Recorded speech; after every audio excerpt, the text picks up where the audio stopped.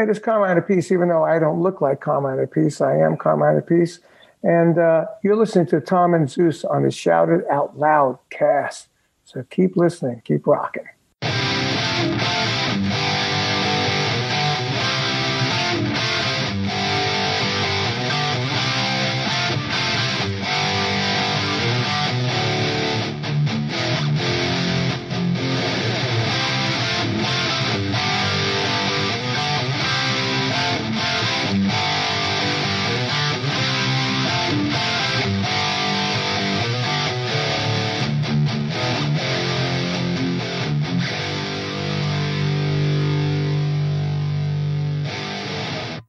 The year is 1977.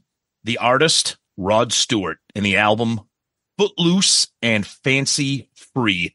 Welcome to episode 56 of the album review crew, where we're going to talk about Zeus's pick this month. And we're going to be joined by one of our good friends, the great author, James Campion. He will be with us shortly. But until then, Zeus, it's me and you right now to get the show started and we're talking about Metallica, the band that's probably been featured more on this fucking show than any other band so far. And I'm talking about when I say show, shout it out loudcast. Yeah.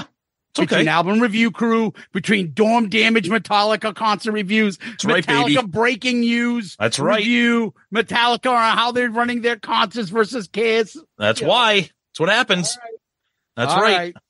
So, uh, yeah, we did Metallica's Black Album, legendary album, of course, and we're gonna get fucking Metallica tards bitching about everything. I'm sure in this feedback section. But Tom, we did the poll first. How did that Yep. go? Yep. So the four songs that we always pick uh, for our ARC polls. So this time it was Sad But True, Enter Sandman, Wherever I May Roam, and The Unforgiven. Enter Sandman wins the poll. No big surprise there. 32%. Tight though. Sad But True comes in at 30. Wherever I May Roam comes in at 24 and The Unforgiven at 14. Lots Sad of but true at 30? yeah, sad but true. Just just barely lost to Enter Sandman. Yeah. Jesus Christ. Yep. Uh, lots of feedback on this one. Casey, it's pronounced KC. I like that one. Really tough choices, but I really like sad but true. Our buddy Nige sends us a gif of James singing sad but true, of course. Bob Scott says, if I don't hear the first three ever again, I'll be okay. All right. Well, Bob, appreciate that, but that was not the poll. But thank you for sharing. Um, a bit too batty says, enter Sandman. And it might be because of when I heard it at a monster truck rally as a kid. Okay. Hey, you know, whatever gets you going is all that matters when it comes to that. And a lot of people had a lot of different things to say about this. Our buddy Nige, again, Nige listens to bands like Dying Fetus, Decapitated Corpse. So when he hears like Metallica Black Album, this is to him like this is Soft. probably this is probably like listening to Rod Stewart to Nige. So when he hears real Rod Stewart, his friggin' head's going to explode. But he says, I have opinions on this album. And then he talks about uh, our buddy Don Jameson and Don's comments about the band 200 stab wounds. oh, God. And he That's says, not a parody, is it? no, no, no. And, and and then I like, and then I like. He goes, "I'm not sure if you guys have heard the new Gate Creeper album." Oh yeah, I have it. I have it right here, Nige.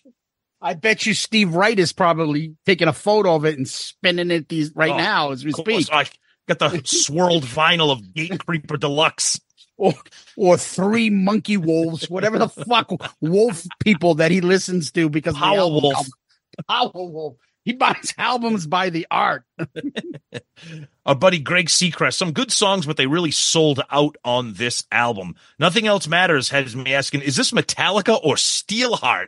Ooh, They got a they got a ton of new fans, but alienated the OG fans like me who didn't want simplistic MTV friendly songs. Still, it's their fifth best album. All right, Greg, I get that. I I, I respect those comments. I respect those comments, but you can still listen to Master Puppets and the Black Album. It, it you can do both. Um, but that's okay. But that's what we got for Twitter this time for Metallica tards. All right, Tom, over on our Book of Face, Kevon Japson. giggity, giggity, giggity, giggity. I bought this the day it came out. It wasn't shocking at all to me. I was hunkered down playing guitar all day. So going from trying to play 7 billion notes on Justice to this was easier and more accessible. Yep. I learned every note on this one. Yeah, Tom. I love Struggle Within. All right. Probably my favorite solo to play. The last three songs are probably my favorites. The least favorite is Through the Never Ever Oh. Ending Song. That's just me ad libbing. Great analysis, guys. Way cool hearing Dawn's perspective. And that's why we have the third man in. We think it Yep. brings a fresh uh perspective on a lot of these stuffs, and we don't know where these people are gonna land. So That's right. Yep. the great Paul Heider. Yes, I'm an 80s Metallica fan, but I've never hated this album. Always thought it was a great album in beginning to end. It's their objectively best songwriting album. Oh, yeah. Marked the peak of their career, much like Leps Hysteria, another band that never came close to that magical creative time again. I'll always love their earlier stuff more and get very lukewarm on what comes on afterwards. That said, it's still uh thrilled that Metallica is absolutely ruling the rock world after all these years. No one would have predicted that back in the 80s. That's a great comment. That is a great comment. Great Love it. Yep. Lee Graham says, Great episode, guys. Seen only yesterday when the CD hit my desk and I penned the attached review. I guess he wrote a review. I'm the opposite of Zeus, underground fan since hearing the demo prior to Kill 'em All. As for Black, I've grown to appreciate it much more over the years. It's great to hear, buddy.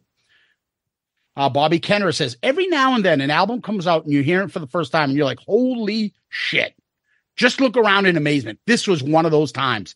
Same for me as Kiss Alive, the first time hearing it. The Black album wasn't still giant among albums if you love hard rock and metal. Nice. Let's go over to Loudcasters, Tom. Okay. Uh, Hey. Michael Michael Murphy, undeniable classic hard rock metal album. I think the band lost its way for a while after this. But anybody who thinks this is a bad album that Metallica got sold out can go fuck their mother. Oh, wow. Okay. Okay. I guess we're getting aggressive now. Hey, go fuck your mother. What are you still doing there? I thought I told you to go fuck your mother. uh, holier than thou, my friend Misery, through the never are standouts for me. Great pick. And I hope this makes up for my terrible take on Journey's Escape. Really looking forward to next month when you guys review Zeus's pick, Slave to the Scalpel by 200 stab wounds. I am swearing these are fucking parodies, No, that's but real. I'm assuming these are rare. well, Oh, 200 stab wounds is a real band. Unfortunately. Oh my God. Oh I'm going to read this one. Brad Marks. Mama said, if you don't have something nice to say, don't say anything. I'm not saying anything about this album. Blows. Great review and episode, though. Actually, nothing else matters is a brilliant song. Burnout factor high, but a great song nonetheless. Got to hand it. At least they said it. Okay. Well, fair enough. Everybody's got opinions. All right. Uh, God bless you, Joey Bicep Curl Romanik, but you wrote a fucking War and Peace comment. It looks great. Uh, I suggest people go read it, but there's a lot there. Same thing with Adam Nierenberg. Same thing with Thanos Akratides. We'll be here all fucking day if we start reading this. But there's way too many comments here from everybody. I'll read this last one here on Loudcast. It's Daniel Haller Houston. I admit I was a weird gatekeeper Metallica fan. I remember being so disappointed that I had no fast songs and two ballads. I've Mhm. lightened up over the years. If they were going to stick with that skate thrash crowd, they would have probably not have made it for 40 years. Mhm. Great episode. Not my favorite record, but I agree. There's good stuff on it. Okay, you, you know where they would be. They would be Megadeth, Anthrax, That's right. Slayer. They'd be in that region. You know, Right. decent, no different than Ratt. They'd be opening Uh, up for shitty bands like Five Finger Death Punch in front of the yeah, instead of the reverse. or um, I, I don't know, Poison at this point. You know, still have an audience, still can Yeah. the- tour, but Yep. they're not playing stadiums if they didn't sell out, right? that's right. Hey, that's right. Yep. You know exactly where they'd be. So let's go over to YouTube, uh, Tom and uh, uh, Ken Woodbury seventy two ninety nine says, "Love Tom's reference to Rand McNally." At the beginning of the show. Fucking hilarious. Made me crack up. Help me out, buddy. What, what was he talking Uh, about? I don't know what we were talking about, but I made something. Somebody was talking. We must have been talking about direct. Oh, oh, I know what it was. We were talking about don't stop believing and how there's no South Detroit and East Oh, yeah? and West. Like, oh, fucking sorry, Rand McNally. We don't have a fucking map of Detroit. The fuck is Rand McNally? You don't know Rand McNally. They make maps. I, Glo- they make globes. They make maps. no idea.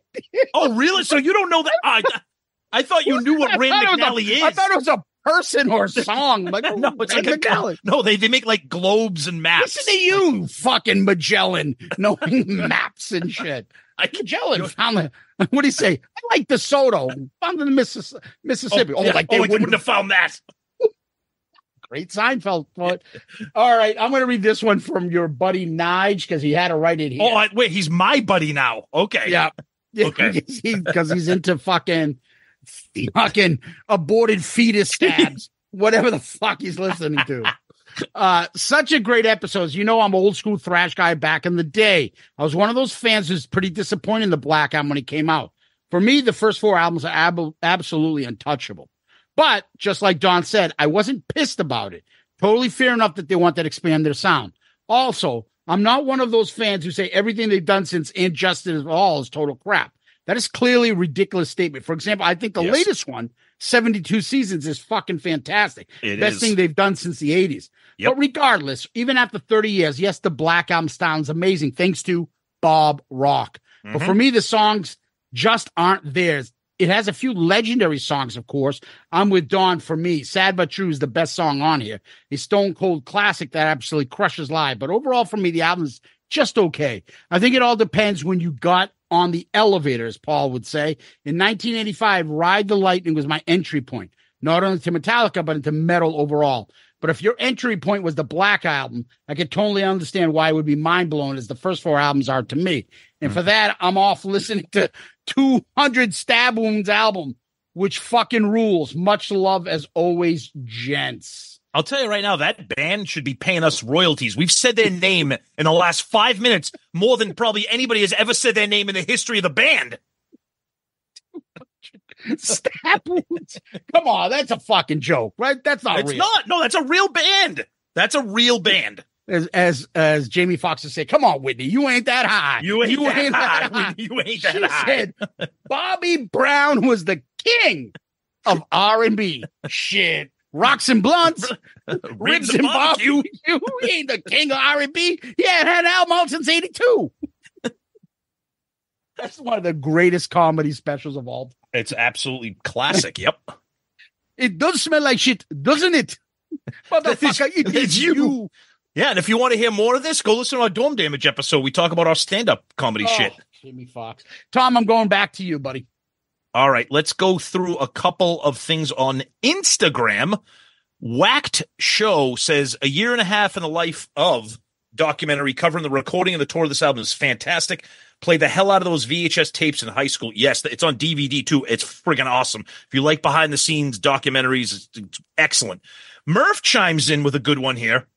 Fifth best album that came out during that 45 day stretch. Now, Oh. for those that don't know what Murph is talking about, in 1991, within a 45 day stretch, you had the following albums released. Okay. Talk about the golden era of music. Okay.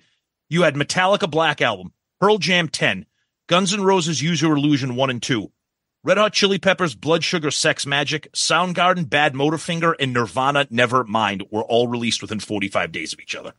So that's pretty fucking insane. Uh, let's look at a few emails here. Our buddy Mike H.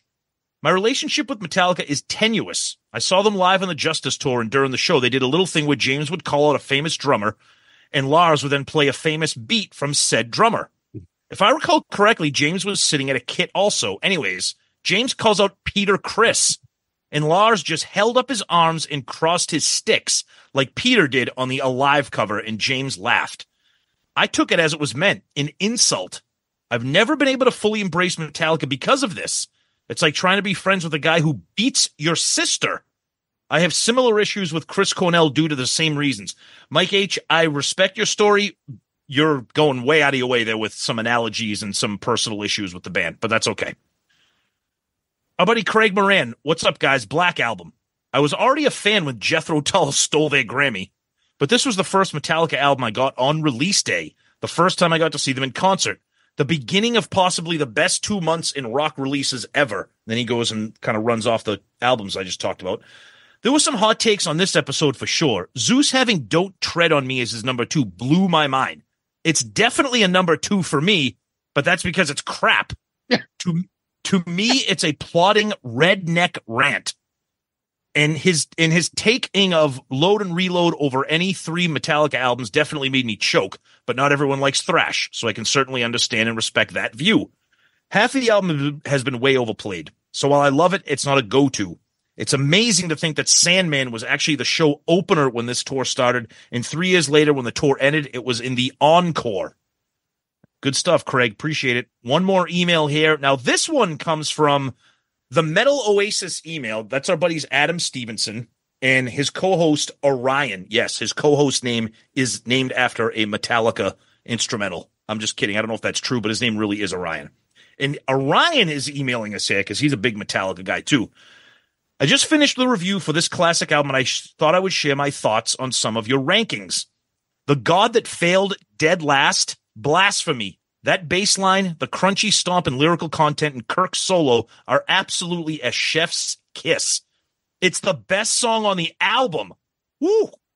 Of Wolf and Man at number eight, how much more wrong could you be? Another haunting riff that chugs and builds up, bringing the imagery of a true metamorphosis of a man becoming a wolf. And the struggle within it, three? While I appreciate and commend your thought process of listening to albums on shuffle so that the back half of albums don't get the fatigue treatment, this song is just plain two thumbs down. Ooh, damn. Lastly, The Unforgiven and Nothing Else Matters may be overplayed, but hearing those with 80,000 people was a religious experience. I agree with that, yes. While Justice is their best effort to date, the Black Album pushed the band to heights, and without it, I don't think they'd be at the level where they are today. Good review, boys. Can't wait to see what more metal albums come down the pipe. Well, Ryan, thank you. Nice to hear from you, my friend. And good stuff as always. Check those guys out, the Metal Oasis podcast. They're talking about all kinds of stuff. Uh, 200 stab wounds is probably the next episode. I don't know. Um, you keep doing, you keep do, you're bitching about it, but you keep bringing them because it's funny. Because it's funny, and that's what we got for feedback there, Zeus. All right. One thing I want to ask before we turn the page on Metallica. Yeah, I, I just heard him say, and it doesn't match And Justice for All. So I, I've heard all sorts of shit. I'm curious. Is it just yeah. me? Yeah. As an outsider, just hearing the Metallica crap all around me all the time. Yep. I've always put like the black gets commercial love, but not love by all Metallica fans. But that the biggest album and the most universally loved, if they're any going to put any album, it's either Master of Puppets or the Black, wherever you fall. I don't hear anybody say Ride the Lightning's the best album. I never hear anybody say Kill 'Em All. But no. then again, I'll get some people I hear that And Justice for All yep. might be. I yep. never hear anything after the Black album as being their best album. Oh ever. no, no, you won't. So, uh, so I'm curious. Where do you think is the most popular? I know, like, don't go album sales, but for Metallica fans, am I correct to say probably Master of Puppets because yes. even the Black album people love that? Whereas yes, the Master of Puppets people might not like the Black Album. I think Puppets checks off a couple of different boxes because it's probably their argu- arguably their best album, and it's their it's thrashy, it's heavy. I mean, we reviewed it, we loved it, but even people that aren't Metallica fans like, you know, Welcome Home Sanitarium or they like Master of Puppets, like I they do. like that. Yeah. Whereas Ride the Light, I mean, Ride the Lightning. Don't get me wrong; it has For Whom the Bell Tolls, Fade to Black. Like those are classic staples, slower songs. You don't have to be a thrash fan. To me, Justice for All is right there with Puppets, but Justice for All is that's not a very accessible album besides the song one. And one it reminds me of the shit that Black used to uh, gets. Like too commercial, to this. They did yeah. a video for it. So yep. it doesn't have that street cred. Right, right. And then I don't hear anybody really going like mentioning a lot of songs from And Justice for All as like no.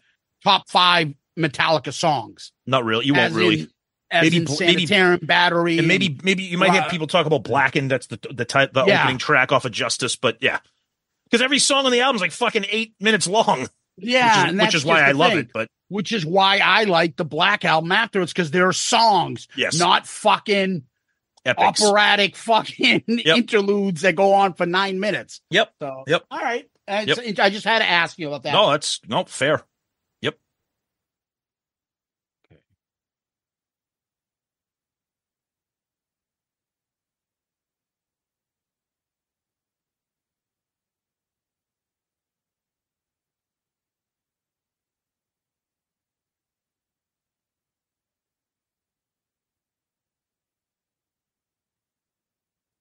All right, we're back from our break with our good friend and author, the great James Campion, author of Shout It Out Loud, The Story of Kiss's Destroyer.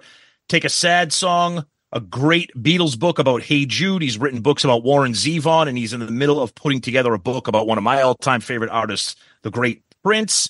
And we're also so lucky to have him be a contributor to our book, Raise Your Glasses. James, welcome back to the show, buddy. How are you? Very good to see both of you gentlemen. I was a proud guest of your show, I think early 2022. Yeah. Uh, and uh, the shout it out loud anyway. And this is the first time I'm doing this, so I'm very excited. And I just want to say publicly what I told you guys before we ran. Congratulations on the book. Thank you. From someone like myself, I I know how hard it is to do what you guys do, did, and th- I'm very excited to see it and read it. And congrats to both of you. Thank you so much. Uh, That coming from an author like you, we appreciate that so much. Thank you. Really awesome. Tom, on the intros, you should have just said, uh, now we have James Campion contributed to Shout It Out. Uh, I even screwed up the book, our book name, contributed to Raise Your Glasses. Yep. Proud. And then, and, and that's it. And you'd be like, that's all he needs. That's what he's famous that's, for. So That's, That's right. that, yes. that's right. That's going to be the he's going to he's updating his website as we speak. that's, that's I'm reti- I could retire happy now. yeah, of course. Yeah, why not? Why not? so I James has been beyond helpful behind the scenes. I've I've picked his brain a million times over since we started this book, and uh, I remember where I was. I was driving to a field hockey tournament, I think, for my daughter. Driving somewhere, and I asked him, and we were talking about music, and I know you love the Stones, and I was like, you know what? I was thinking about picking this Rod Stewart al- Rod Stewart album for a while, Tom. Hmm. Yep. And I'm like, you know what? That's going to be a tricky guest. Who am I getting? And I was like, oh shit. If I do that, I bet you, James, you you like Rod Stewart? And you're like, yeah, I like Rod Stewart. Do you know this album? He's like, yeah, I, I know that album. I'm like, great. If we ever do this, I'm going to call you. And he's like, okay. And then I, I was like, you know what? Let's mix it up, Tom. We've we've been all over the map. We're Yep. going from Oh, yeah. Metallica's Black album to a 70s Rod Stewart album. Yep. And uh, I, I, you know, just because we just love James, anyways, I'm like, he's the perfect guest for this. So that's hence why he's here, and he Yep. was kind enough to join us. But what we usually do, James, first is we talk about the album, how we got into it, uh, where it came from, and our and why we picked it. So for me, everybody grew up with Rod Stewart, so we were like everybody else in the the MTV era. But he is one of the few like 70 stars that transitioned into the MTV era Mhm. and it worked. So he was everywhere. So I got into him. I didn't know any of his really 70s material, but I did know uh, Young Turks back then, the early MTV days. Uh, tonight, tonight I'm yours, whatever it is, um, and other videos that were popping up on MTV constantly, Baby Jane and things like that.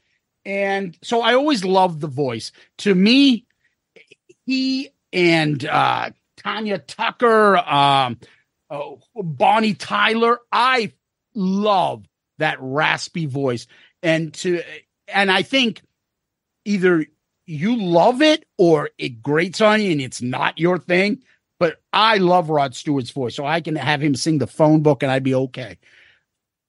In addition to this, Hot Legs has always been one of my favorite fucking songs. And when I saw that video, you know, over the last few years and stuff, and Don't don't comment too much on the video yet. no, no, no. okay, because But it's that's a whole that's a whole episode. I think that video could be a breakdown, could be a whole episode between Yes. that and um and the Stones is um uh Start Me Up. Start me up. Oh, You can have a battle of which is the most cocaine filled video you've ever seen in your life, and the most and break it down like the Zapruder film of the most hilarious, stupid clips. Yep. So I love hot legs. And then, you know, sometime in the uh years ago, I I'm like, you know what? I love hot legs. Oh my God. Uh what do you call it there? Uh, now I'm dropped. I'm forgetting. I'm going blank. Um, You're in My Heart is another classic that I knew and like. I'm like, oh, that's two good songs. I'm sure I like the rest of the album, so I bought it. Mhm. And it's just been on my rotation ever since. I I love the album. I I I will make a few bold statements. Uh, one of them will be that to me, the Rod Stewart band as it exists for this album is the Stones with a better singer.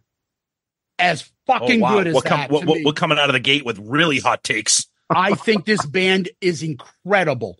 Um, I, I, I three guitarists, a kick-ass bassist.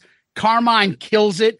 They had a few great albums. Rod Stewart in the '70s, to me, that that discography is phenomenal, phenomenal. And uh, he's just somebody that's over lasted over the years. And either you really love him or he just, he's not your thing. And it reminds me a lot of the guy that you like, Tom, and that's Elton John. You just it, he just works for you. And Mhm. his 70s catalog probably Untouchable. Although you, yeah, and you might like some of the stuff in the 80s, but his 70s stuff, you Mhm. love it. And Yep. it works. And the same thing here. I find the musicianship incredible. And then you just throw in his voice. So Mm-hmm. this album, I play it all the time.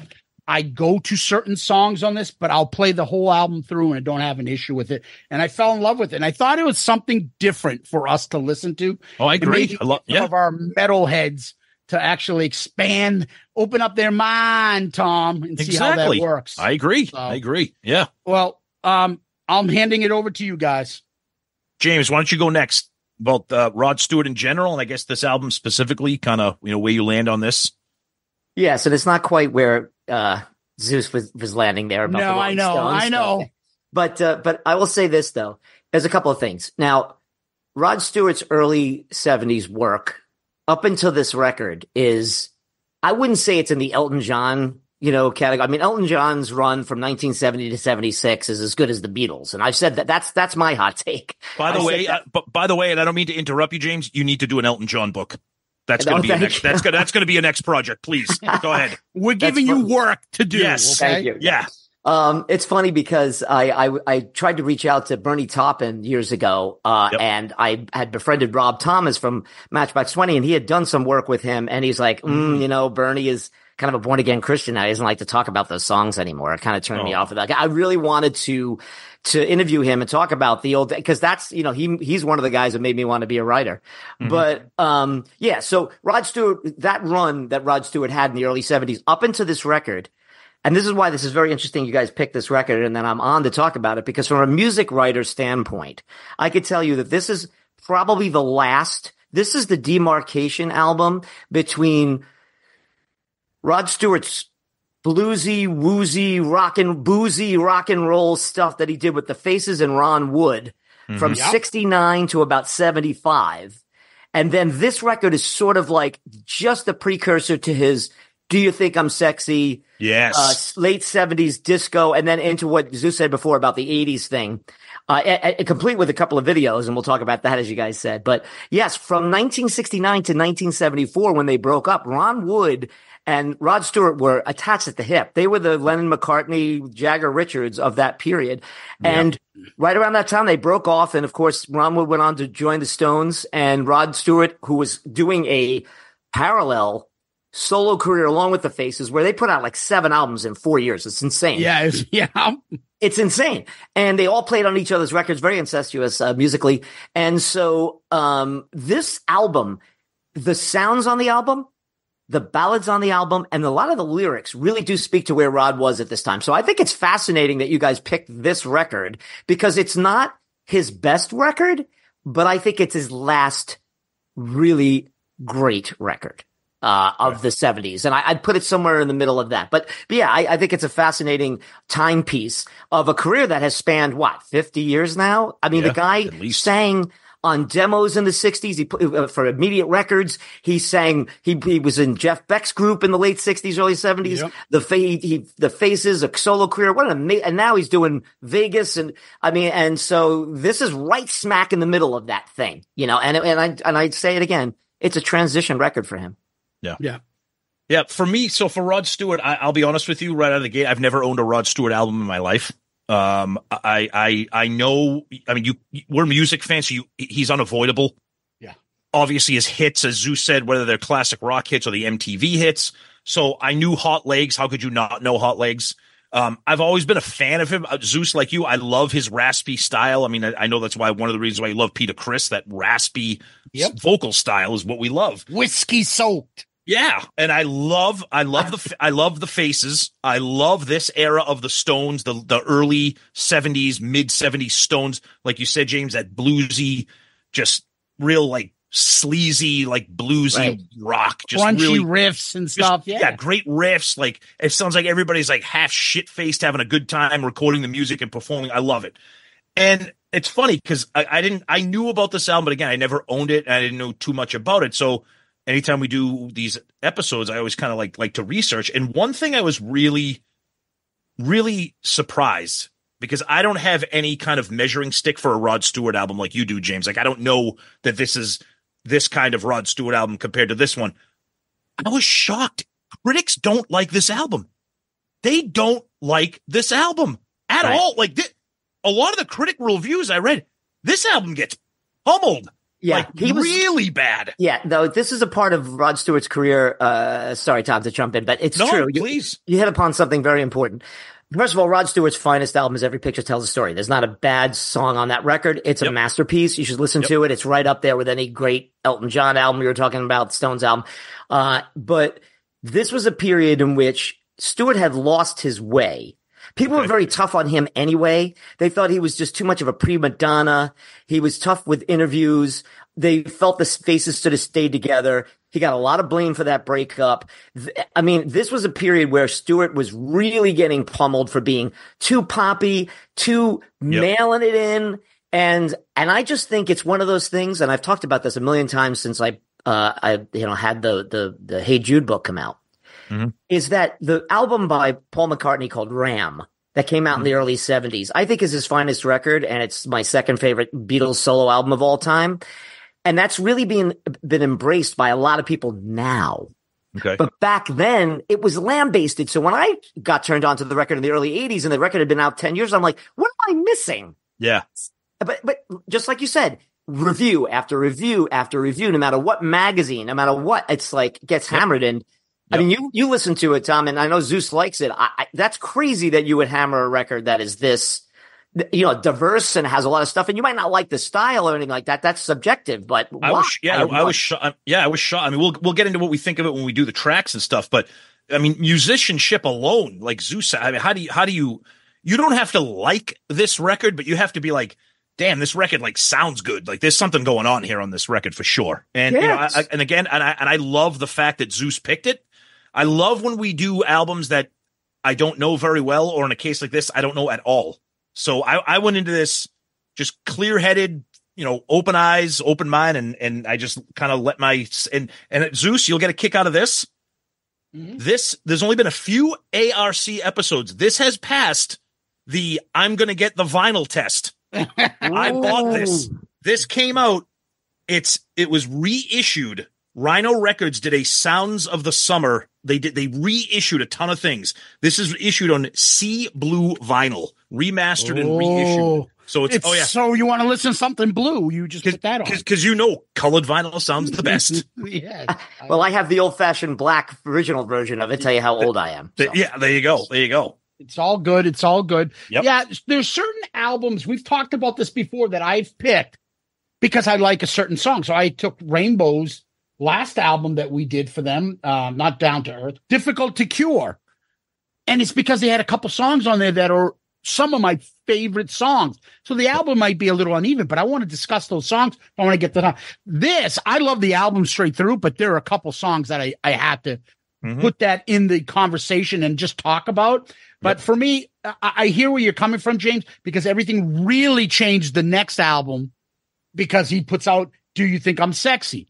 Now he's gonna do the Paul Stanley, yeah.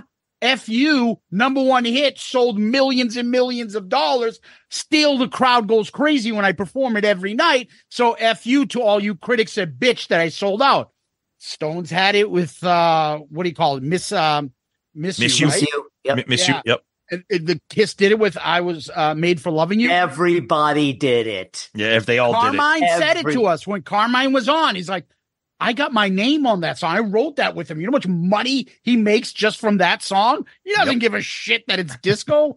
Carmine's Yep. played heavy metal music for years now, and he wrote Do You Think I'm Sexy? Like, Yep. it's okay. It's all right. But there is a big difference because he starts transitioning slowly. But to me, this band can't I can't talk about it. So you got Okay. basically Rod on guitar, uh, Rod on vocals. You got Gary Grainger who wrote a lot of the songs with Yes, he him. did. Yeah, he did. Yeah. You got Jim Cregan who blows me away in one of the souls we'll talk about, and a guy named Billy Peek. Three guitars, and the joke was, "Damn, you need three guitars to to make up for Ron Wood, huh?" And Ma- I know, and- imagine and- that. And, and that's what he that's what he said. He goes, "No, I just like." He wanted a heavy sound with three guitars in his band, so he put that together. And then he's got Phil Chen, who was uh, apparently one of the big session basses around that time that a lot of people used, and he was very popular. A guy named John Barlow Jarvis on keys, and then the great Carmine Appice, who I, I think absolutely kills it on this album. Crushes and it's a album. great band. He's got Yeah. a great rocking band, And but he's Rod but- Stewart, so he has to have a lot of ballads. Yeah. And that's what Right. people are like, you know, it's something about Rod grabbing a- an acoustic guitar and singing these songs in his raspy voice. He knows that that's his shtick. So he's going to throw in a couple of them. And some people think, oh, it's that tired formula. Here he is with Rod in his ballads in his acoustic. But if, if it works, why is it tired? I, I think it's great. But go I ahead. ba- no, I was going to say balladeers are underrated. Come on. Uh, but and that's a guy who can interpret the hell out of this song, and he did. You know, speaking of Elton John, he did a wonderful co- uh, cover of "Country Comfort," which I think Oh, is so good. it's that version of "Country Comfort" is fantastic to the point Yep. where Elton even tipped his hat and said that's his song now. Mhm. Um, but also don't sleep, uh, Zeus, don't sleep on Steve, Cro- the great Steve Cropper from, you know, from the old, uh, Stax days, the guy who played with the Blues Brothers and, and played on all those amazing records with Otis Redding and everything, wrote, wrote Otis Redding. He's on this record. David Foster. Foster. one of- yeah. is on, and Nicky Hopkins, who played with everyone. I mean, Mhm. Oh, you're missing one more. John Mayall plays the harmonica. Oh, on I was just gonna Lou men- I was- I was going to mention him too when we got to the song, but yeah, you got that legend. yes. And then you got Every- the producer, Tom Dowd. Yep. Yes. He's legendary. So you got Yes. all these people part of this. And to me, I, I just I, I want to put it out there for you guys. Recognize it, give it a listen, see if you like it. So Right. that's why I picked this. So the first thing we're gonna do then is talk about covers. Tom, have any thoughts about glaring at Rod Okay. Stewart's face? All right, so I'm going to be completely honest with you here, okay? I l- I like the cover. And I'm going to tell you why, okay? I it's very of the time.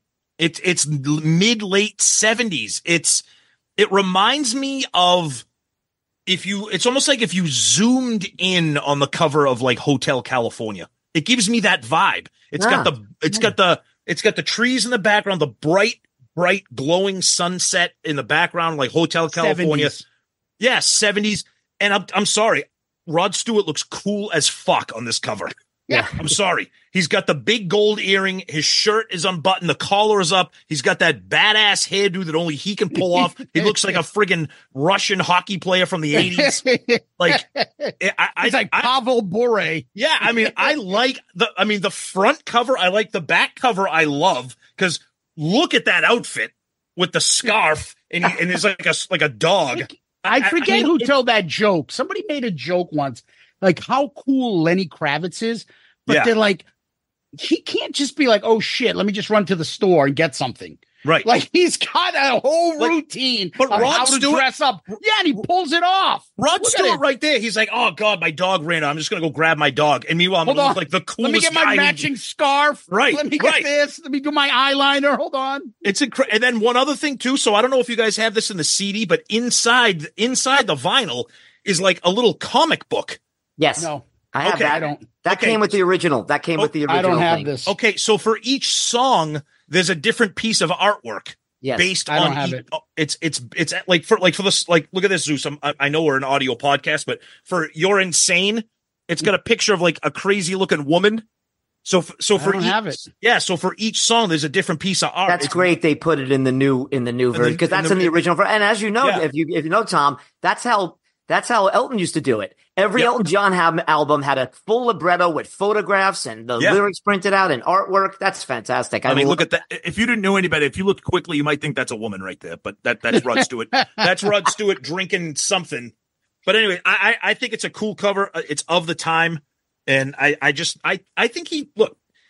He's just a fucking cool dude. I hate to sound I hate to sound like I'm like 12 years old, but he's just a cool dude. It sounds like when we did the Michael Hutchence. Remember, we were talking In INXS. excess, and everyone's like, "Jesus, guys, calm down! You guys are like salivating over a guy." I'm like, I think it's the same thing. He is the. You look at this and you see him, and you say rock star. Yes. That's a rock star. Yeah. That's exactly. It's like you can look up the definition. You'd be like, "This is what a rock star looks Oh, like." and can Just I so fucking cool. Okay, so you just you just nailed one of the reasons why he got shit on during this time by the critics. Okay. 1976. Okay, we're all digging on like I, that's the other reason I thought, oh, 76. They probably had me on because of my Destroyer book because I was all into the 76. I might even have mentioned this record in my book, but 1976. This is right when punk music, which started in 74 and 75, was in the midst of really kicking in. Yep. And there was a huge backlash against the Pink Floyds and the Rolling Stones and Yeah, the the excess, the excess, and Rod Stewart with the planes and the hair and the limos in the back of the cover and like you said, dressed like a a rich guy. I mean, Yep. and that cover, like you said, it does evoke L.A. These are L.A. With- cats recorded in L.A. studios. Yeah, I mean, if you didn't know any better, that that's that's L.A. That's the LA. That's Yeah. what it is. That's the You know? LA sun shining behind him. And Yeah. I'll use your guys' joke and reverse it uh, by saying uh, uh, that's what you might call a handsome man. Oh yeah, James coming Yes. in. I like it. That is exactly a that. woman. I don't know, but he looks good. But you're right. He, And he's a that's rock the thing. star. I agree with you. It just to me, that's what he evokes, and that's what he's always been. Is that's why he he's a great solo frontman. He's got that looks, and he still looks pretty decent for a guy's age. He can still perform pretty decent his I- I- age. I, I have to just jump in here real quick since we're talking Yeah. about Rod Stewart. I love the the type of music that he's performing. I love those standard that Frank Sinatra. yeah, he that- uh, I- old I- songbook. I, I Ever. love that. I love that that music is right in my uh, right up my alley. I love that stuff. Uh, but I I hate that he does it. I just Oh. think it's extremely. I just think it's super super corny. I Right. think it's. I think I know he's Rod Stewart and the guy like. oh, Zeus I like it because I like his sing the voice phone to book. sing those songs. I was just going to say, I know he, you love his voice. He could sing the phone book, but I'm like, dude, that's not Rod Stewart. That's that's the wedding singer up there singing these songs. But is it? It is because he does everything. Like he You know can what it's get like? away with it. and and and I know we gave it credit when we did the review, but it's like Paul Stanley doing Soul Station. I don't want to hear you do that. You you do it well. It sounds nice, but that's not what I want to hear Paul Stanley do. I don't want to hear Rod Stewart sing "Strangers in the Night." I just don't want to hear it. I do. I want. Okay, I'd well, love to hear him well, sing that- it. I'm glad. and, I'm and glad. obviously other people because all those albums go to I- number one. I agree. I agree. Yeah, yeah, because it's all people like my mom. It's all like eighty-year-old Italian people who live in Florida with my mom. That's who's buying that. and me. Woo, Rod over here. but but the other thing is, I heard recently he was talking about, and this is prior to Jeff Beck passing away, like Mhm. that he wanted to come back and bring back the rock songs and do a rock tour again and put I'd this stuff that. aside. But he, he's probably like, I can sing in this register, I can Yeah. do the crooning songbook, and I can do the Christmas songs and still kill it. Yeah. Financially, and sell out everywhere, and it's probably easier on his voice No, you're right. than trying You're to right. scream "Stay with me."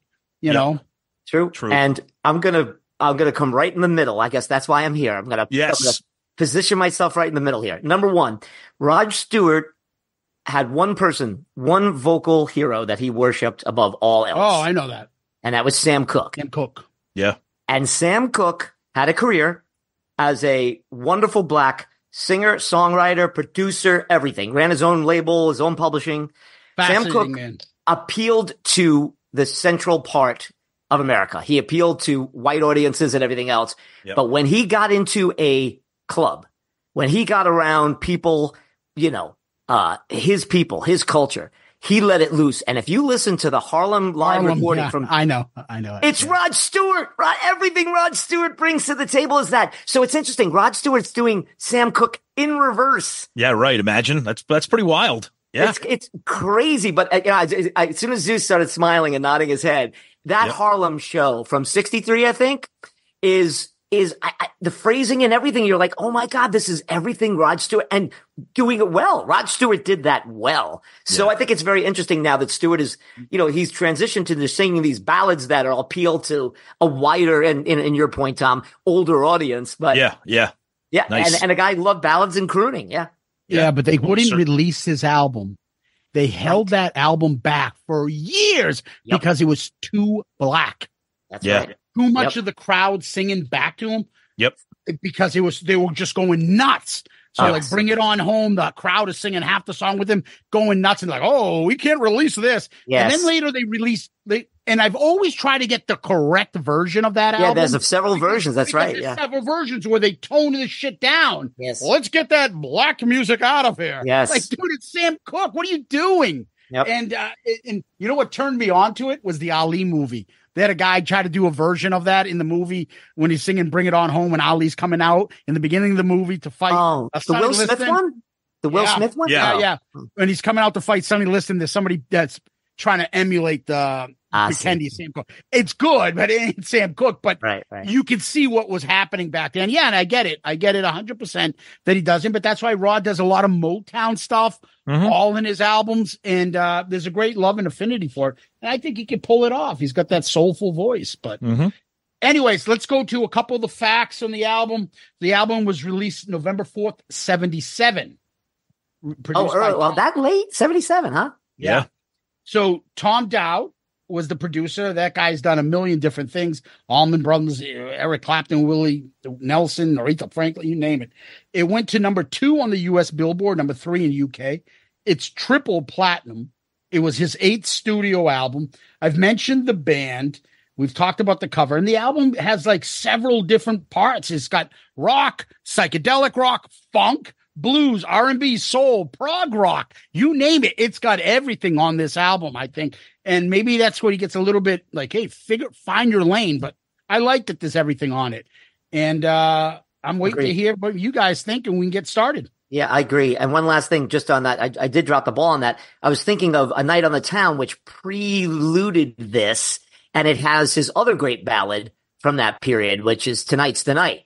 Oh, so that, that's a great song. Oh, it's such a truly great song, and I actually think it's a better song than than the one that's on this record. Although the one on this record's sweet, but um, it, it- so I always conflate those two. Killing yeah, of Georgie and all that shit. Oh, that's a gorgeous song. but the yeah, best song right. is not on. You didn't even mentioned it yet. Come on. You know what What's the best that? song on that. with The on first that, cut is the deepest. That's the the, first best song. cut is the, you know, and that's a um, And then Sheryl Crow ruined it, but that's all right. that's a Cat Stevens song, I think. Yeah. yes, Oh, I think my- yeah, him, yeah. him singing it is just incredible. Yep. Yeah, yeah, he did own it. He owned these songs. He was kind of like Elvis in that way. We take a song, forget it, it's his. You know, the funniest thing is your song. I knew his version of it because there used to be a radio show, Tom, in Boston. That I forget what station it was, like classic rock, but they were promoting it, and they would play Rod Stewart's "Your Song," and I'm like, why do I? I don't remember him doing that. Isn't that an Elton John song? Right. And I'm like, why? Why are they produce? Why were they advertising Rod singing it? But I got, I, you know, certain songs I I just heard him's his version, not Yeah. the others. But I knew both. But anyway, Yeah. um, we can get ready to the tracks. You guys good? Let's go. Let's do it. All right. First track. All right. So we start off with Hot Legs. Right out of the gate, I'm digging this right here. This is a combination right off the bat of some of my favorite bands. It sounds like obviously right off the bat sounds like the Stones. Okay, everybody knows that. That's not that's no revelation there. But I'm, as I'm listening, I'm hearing Southern rock. I'm hearing Lynyrd Yes. Skynyrd, Black Crowes, Zeppelin, all the stuff I love. I'm hearing pianos. I'm hearing such incredible sleazy bluesy grooves. The band is out of their minds. The the funky little bass breakdown, the solo. I mean, the the, song is legendary for a reason. Everybody knows this song, and they, should. Like you said, Zeus, the band is just crushing it on so many levels. Like I can't get enough of all the guitars. This to me, there's another there's another song on this album that we'll get to but this to me is like it, it's a, it's a couple of years removed, but this is like Sticky Fingers era, like Stones, like just that really groovy guitar, the crunchy guitar that you didn't really hear a lot this time. Not like metal guitar, but just great riffs, great groove. Faces type guitar. Fa- Ron That's what I was going to say. Re- faces. It, remi- Right. it reminds. It It's like reminds me of faces. Stay with me and shit Stay like with that. me. Exactly. I'm the same way with you, Tom. And I, I and well, the the thing that got me is like I know Rod Stewart, I knew his voice. When I started getting into this album, these band and the band, Yeah. I didn't realize he had a real band behind. I figured it's Yeah. Rod Stewart and a bunch of different people and Yep. whatever. I didn't realize how good of musicianship is on Yeah. this album until I really bought this and started listening. And this is a great example. James, go ahead, brother. James, go ahead, buddy. What do you, what do you got? Hot legs. Yeah, a couple of things. So uh, this this this song has aged well. Um, Yeah, also- Are, when he says, like- "Are it's you kinda- still kinda in like- school?" Well, the, the, I was just going to say that the, the, this is the same year uh, Kiss released Christine 16 on Love Gun. Yeah, So but I'm- 77 was a rough year. so um but i was going to say everything that tom said i echo uh I, it's it's infused with great country rock which Yeah. again in la was really starting to kick in now the eagles type thing i you know and when i was listening to it a couple of times i was thinking boy the georgia satellites from the 80s must have been Yes. listening to this record um so very country feel very bluesy and this is what i was saying before and this is a classic music writer thing to say but Go the ahead. first song and the last song of a record to me always indicates how great an album is and how Hmm. it connects. He opens up with a full tribute to his old band, who's Yes. now in the past, and his old buddy Ron Wood, who did those riffs as good as Keith and as good as these other guys, which is why Keith's like, come on, join us.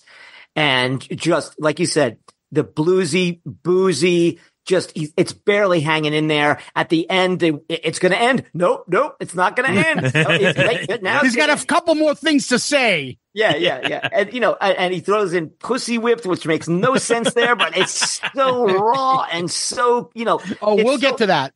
it's so rod and he's just it's just fusing with toxic sexuality. It's Yeah. just so pure. And you know, the music fits. And of course, he is just killing it on the vocals. When he goes up on those breaks, I love you, honey. That's Oh. just Oh. incredible. So Yep. just a wonderful way to open this record. And if you, you know, run my thread all the way through, it has to open this way. It has to open with a barn burner because this is a record, as you said earlier, it is has a shit ton of ballads in it. Yep. All right, So- Hot wait. Legs.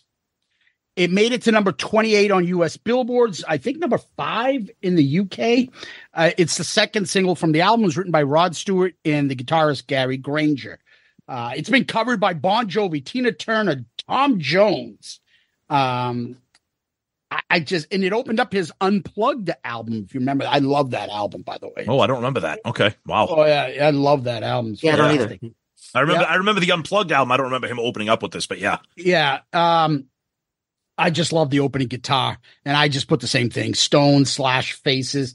Uh, I of the three guitarists, if that guy is Billy Peek, that's the lead guitarist on this. Those guitar fills. Oh yeah. Chuck Like- Berry City, USA. Oh my God, exactly. and that's why I, I still think no matter how great people talk about Chuck Berry, he still um, could be the greatest guitarist of all time because people are still stealing his songs Yep. and his moves, and they still like that's as good as it gets. Whatever he did back then, those riffs are just you can dance to those leads. Oh my Yeah, That's the difference with Chuck Berry and everybody else who played lead guitar is you dance when he starts playing that lead. Well, Keith's like that too. Keith Richards. Well, you, that's his idol. Yeah. You want to move your ass. Yeah, That's right. what you want to I do. mean, I, I, we could go on about Chuck Berry forever. That he's still, I think, underappreciated, but that's all right. Um, the I just love the drums before the, the he kicks in the voice, boom, boom, boom, boom, bang, and then oh, and then the song starts off. I, he builds it up.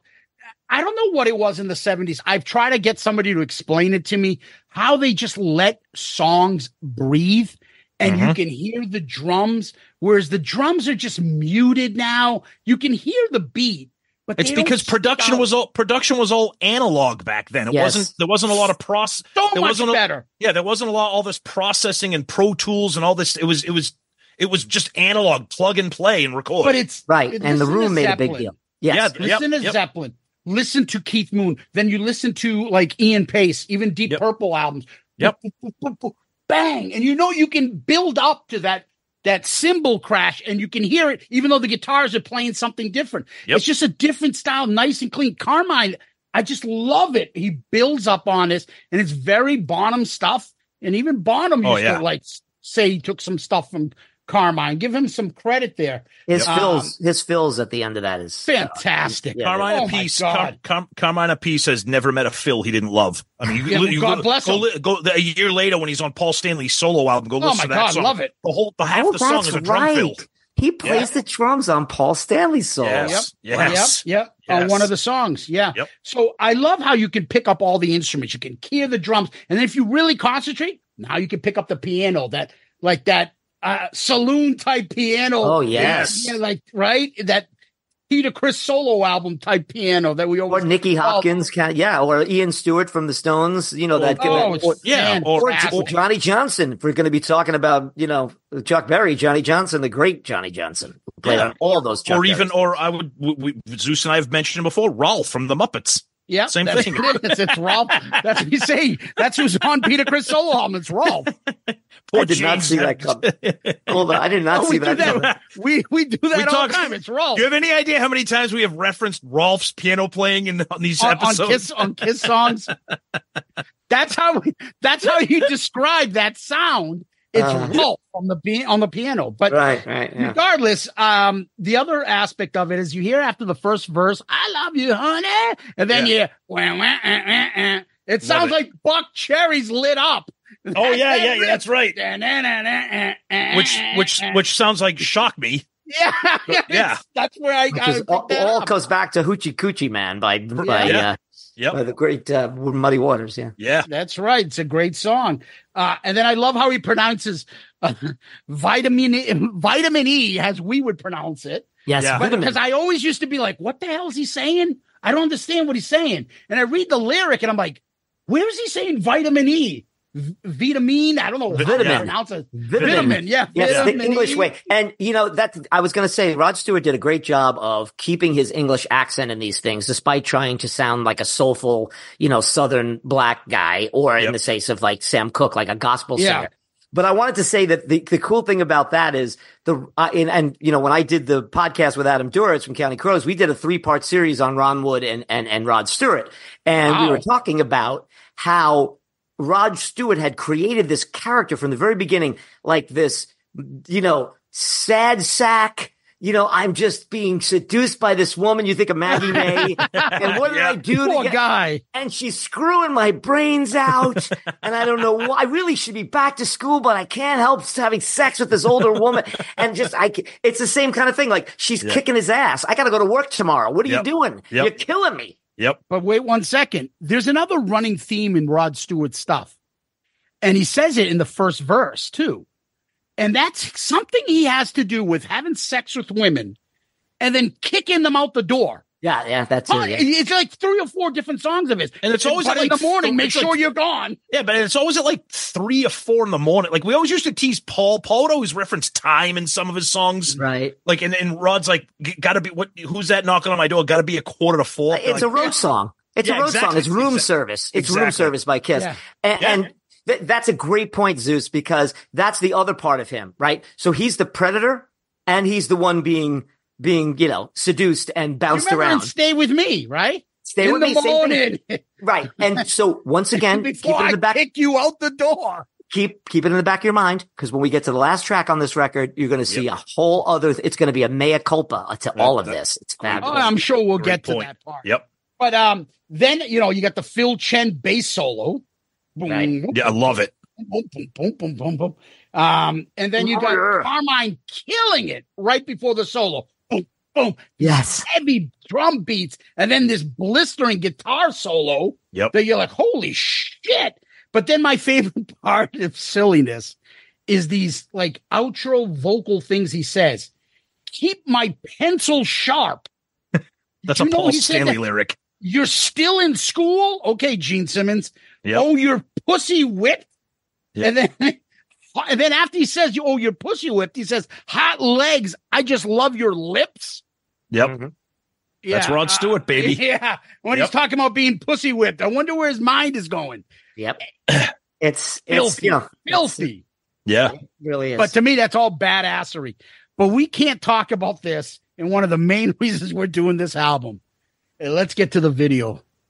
Holy shit. Dude, this is like Holy shit. this look I swear to God, this I'm like, is this like the video for Come On Eileen? Is this Dexy's Midnight Runners right now? Like, what is happening here?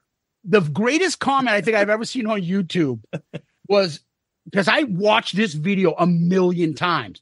Was someone that had written like this is what happens when you take the one hundred thousand dollar budget and spend it on cocaine and you're strand- you're stranded in Costa Rica. Because I'm like, where the fuck is this video taking place? I mean, one minute you got the guy doing the Chuck Berry down the train tracks, Oh, which is kind of cool. horrible. And then, and then, and That's then all, horrible. but and then all of a sudden, I'm like, where did this migrant family come from? Yeah, they, yeah, they're just, yeah. they're just like, they're watching, they're watching this. they guy- said they're stranded in Costa Rica. What, what- it's, it's like It they like- paid. They, they bought like a one way airplane ticket to get to wherever they they're stuck there. That's not. That's not. That ain't no USA City. That ain't, I don't know where that is. Well, the Uh, kid, one of the kids had a Peru shirt on, but it was spelled Yeah. P I R U. So- That's the thing. They're in Peru. They're fucking Right. all on So- coke. and you guys failed to mention the whole key to the goddamn thing, which is him singing between a woman's legs the entire. The woman right. is That's- never. You never see her face. No. it's always. you him barely see anything else. You Yeah. just see her legs. You're always peeking between his legs. He's singing between her legs. what is And that? then there's a then there's like that guy that looks like what was that Willow guy from those Star Wars movie? Looks like a, a like a black Willow guy. Who's that guy that was in oh, Willow? the uh, yeah, yeah, What's his like name? oh, Warwick Davis. That's him. He looks like a little black Warwick Davis guy. Yeah. Sitting, he looks like he- that guy looks like he's like honestly like not even four feet tall. I don't know where they found that character, but he's just sitting there at the at the gas station just looking. Like, And what's what and, and what's with Rod Stewart's like magenta jumpsuit? like, uh, like that. That's a that's a women. That's that's like I, I, the video is out of. That's the, a great jumpsuit. Do they have them for men? they did they did not put any i mean clearly and this was back in the day i, I was saying to zeus when he sent it to me i said i remember this vividly uh, being on mtv a lot like that Yep. first six months when they had no videos and they just threw out all the old stuff and you know it was on eh, which made no sense at all because in 1982 this song was already kind of dated because it's already an homage as you guys said to the 50s Yeah. and 60s and bluesy early 70s but it, it- yeah, I mean, it's just it. You you mentioned it. Start me up, and I always think back to um to Jump Van Halen. Mhm. That that video they, that was they always make a j- joke. They spent more money on booze than they did an actual you know production value. Oh yeah, because there's nothing in that video. David Lee Roth's it's- fucking It's wardrobe. just yeah, it's just Eddie Van Halen smiling for three Right. minutes. Like the video starts off with them on the Sanford and Son truck, and they're just driving down in this fucking area. And like Rod Stewart's doing like the chicken dance, like wump, wump, wump, wump, wump. like we see him in the video. I don't know what the fuck he's doing, but then they go and then they start shooting the video. You got Phil Chen with a fucking hayseed in his mouth. I don't know why he's fucking doing that, but they never show the girl. It's always him between his legs. Um, and between the 30 and 40 second mark in this video, I marked it. If you watch, you can tell how fucking coked up Rod is. He he starts the camera like closes in on his face. He's all like cockeyed, smiling, like all fucked up. And then right before the he starts singing, he does like a like a fucking snort or something stuck with his nose. He is definitely all coked up. The keyboard player has a fucking railroad engineer hat. Have you did you see that? The fuck Yeah. is he wearing his stupid lid on? Every one of these guys looks ridiculous. They're all dressed like so timed out. Um, I, I I don't know what the hell's going on. Rod has got the crazy o- red overalls. And then that guitar solo you talked about, Tom, I think that's the silliest thing. He's wearing a stupid beret. And he's doing the fucking Angus Chuck Berry move. Yep. It just doesn't Doesn't- work. It looks I- like I- I love how Zeus is breaking this down as if it's Citizen Kane. oh, oh, oh my God, there's way oh, more. oh, we do that. that when it comes to these videos. We have to. And it's then they, incredible. and then at the end, they all they're all coked up, on the Sanford and Son truck going hot legs, and every one of these Peruvian fucking drug lord kids are like running after them. and they're just lord running. kids. They're fucking. And then they're just chanting hot legs. The, the whole fucking village must be like, what the fuck is this? Wh- Who are those people? That's clearly an example of just you guys run through this song 10 times and we'll make a video out of it. We'll try to do Oh, something. Yeah. Oh, totally. That is totally Yeah. like the like like they said. They wasted the budget on cocaine and uh let's just fucking hang out at this gas station and just uh sing the song and bring some chick with good legs. and I'll sing between Pretty her much. legs. Oh, anyways, I had to get that off my chest. I've been holding Well done, that back fellas. for years. Well done. All right, let's go to song two. All right. So we get You're Insane. Now we're starting to hear some songs that I don't really know very well from this album. But I'll tell you right off the bat, incredible. I mean, this is funk level uh, uh, turned up to 10. I absolutely think it's amazing. Slinky, sleazy guitars, an incredible groove. The lyrics kind of made me laugh because like they're just like rhymey lyrics, like something like Ace would write. Like it just just very like low level lyrical content, which is fine, you know. But I will say this: I, I think the band sounds incredible. Again, Carmine crushing it. That little that funk guitar groove, and I'm listening to this. I'm like, I cannot believe this has never been sampled in a hip hop song. Like so, some of this, some of this main riff, this groove could have been easily co-opted into some kind of hip hop song. But I, I had never heard it before in my life. I think it's a fabulous song. I think it's great. I think What it's do a you mean, nice Tom? You What's don't that? you don't like you drive your Mustang down Sunset Strip and in the backseat a big black whip? Yeah, right. Exactly. Uh, It's Fucking classic. terrible. Classic. So this is a classic example of what we were talking about earlier. Here's Rod making fun of, you know, bougie, you know, L.A. coked up. You know, this is this is his uh, way of doing the the Eagles. Uh, you know, every Eagle song, which is essentially a femme fatale who has a lot of money, who completely seduces, you know, the poor, unsuspecting Midwesterner uh, into their into their lair, and uh, you know that's that's kind of what this song is. And in, in a way, he's he's trying to get. I think he's trying to straddle both. He's doing a disco, pre-disco, round disco kind of funk song, but he's also making fun of people who will eventually sort of represent that culture. And, you know, uh, what's the, the Eagles so well, everything on Hotel California talks about that, but, uh, which I think is also 77, if I'm not mistaken, right? That record came out in 76 or 77. 76. Six. So it, it just, it has that. It's, it's just an LA, it's just him going right down, using a woman to represent all the people who he's encountered. And in a way, he's trying to stay arm's length. He's trying to be, a, he's trying to be a commentator instead of someone who is completely steeped in that kind of milieu. oh yeah. Yeah. To me, um, Tom hit the nail on the head. It's a funk track. Boom, Oh, boom, yeah. boom, boom, boom. And I, what I pick up on is like, again, like, God, this band is fucking tight. This Yeah. isn't no like, oh, just add people like you think like in this 80s. Oh, this guy will play him, this guy will play. Just Yeah, it's no studio fucking- cats, like studio Yeah, cats. yeah, yeah. But this is like a band band Right. And and for me, I, I just think it works. It, it it it kicks ass. The bass is insane. That guy is that guy is good. That guy Phil Chen, he's good, and I like how the instruments breathe throughout the song. You can pick up on them. But I like this part. Tommy goes, "You got no brain. You're insane." And my mind goes to insane in the membrane. Yeah, me He's too. Yeah. insane. Yeah, that's what it comes up to. But Yeah, uh, yeah, I think it's a pretty good track. They, they're, so far, we got a couple good rock songs, kind of rocking so far, and it's ballad time. Yes. So track three, you're in my heart. Okay. Beautiful song. Famous song. Love it. I think it's fantastic. I, I he sounds amazing. I love the instrumentation in it. I just I really think it's an incredible song. I think it's popular for a reason. It's famous for a reason. I love singer songwriter types of music. You know, Elton John is one of my all time favorite artists. Like Billy Joel is one of my all time favorite artists. Simon and Garfunkel, Paul Simon solo, you know, James Taylor. I love I love that kind of stuff when it's done well. And I think this song is it, it kind of fits in that in that category for me if that's kind of a, if that's a fair assessment. Uh, and I think it's a really nice break from the first two songs that we had. You know, Hot Legs, this bluesy, rick, rocking song. You know, you're insane, a little bit of funk. Let's slow it down and, and bring this in. And I, I think it's fantastic. I think it's kind of iconic for a reason. It's a, I think it's a very pretty song. Yeah, it's a beautiful song, very well produced. This is the mo I talk about David Foster. He had Yeah. to you know, get in someone's ear. This thing is just so pristine, and the guitars, kind of the the, the, the classical Spanish kind of guitars that lead in, they stay Yes. throughout.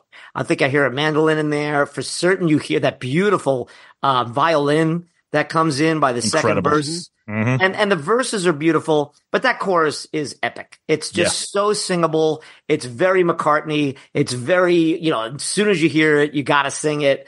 Uh, everybody always talks about he's a huge uh, football, as they call it over there, but soccer fan, and he names his favorite teams the way you, which is such a guy thing, but you don't expect that from Rod Stewart. It's like Right, I'm right. comparing you to He's a hooligan. the bro- Soccer. I'm comparing you to Celtic United because I, that's how much I love you. Yes, Like- like yeah, like just like you guys saying, I I, I love you so. You're the, you're like the Boston Brew. You're like the seventy one Boston Bruins. No, anyway, so the but was that the year they won seventy one? The Bruins. Yeah, uh, 70, 60, 70, 69, 70, 70, and then 72. 71, 72. That's In- the in- Bobby there was a- Orr one. That's the Bobby. Yeah, Bobby the Orr. Bobby Yep. Orr ones. So it's just such a guy thing. To, so I think it's just sweet. I, I like I said, I always um, liked the previous one. Uh, Tonight's the night again, a great seduction song. But I think this is one of those things you guys talk about it all the time in your Kiss podcast. After the hit Beth, you know, give give the ballad to Peter. Let's give this another shot for the next Mhm. record. Yep. I mean, it seemed like he had to do something like this. You know, where he he talks about a, a, woman almost in royal way in a royal way. He's he's Yeah. He's producing the perfect woman and he's trying his best. I love this. He puts the details in there about seeing her from across the room. He says hello, but she says goodbye. And you know, it, everybody was being so lyrical and, and, and everything. I'm just a regular that there it is again. I'm just a regular loser hanging out here. What give me a shot. Look my way, which is crazy because, you know, we just said about the cover and his Right. rock star persona, but I just love how he embraces that. And, you know, he co-wrote the song. So what Yeah. he's singing is coming straight from from the heart. It's a beautiful, beautiful song. Tom's right. Yeah. All right, so you're in my heart, and oh, by the way, uh, "You're Insane" was written by Rod Stewart and Phil Chen. This Okay. song was written just by Rod Stewart. Yep. It made it to number four in the U.S., three in the U.K., number seventeen uh, adult contemporary. I believe it's the first single from the album. Um, Yes. And, And- I'm shocked it wasn't number one, Zeus. When I looked that am up, I couldn't believe it. That was all over the radio when I was a kid. All Yeah. when I was in high school. What's funny is he he's had so many like legendary relationships in the tabloids and stuff, and he's been all over the place. So he was dating somebody that's before my time, but I guess was a big name. This lady named Britt Ekland. Yes. You remember Mhm. her? Yes. So she eventually sued him for like, I inspired some of your songs and this and that. So everybody originally knew that this song was written about her.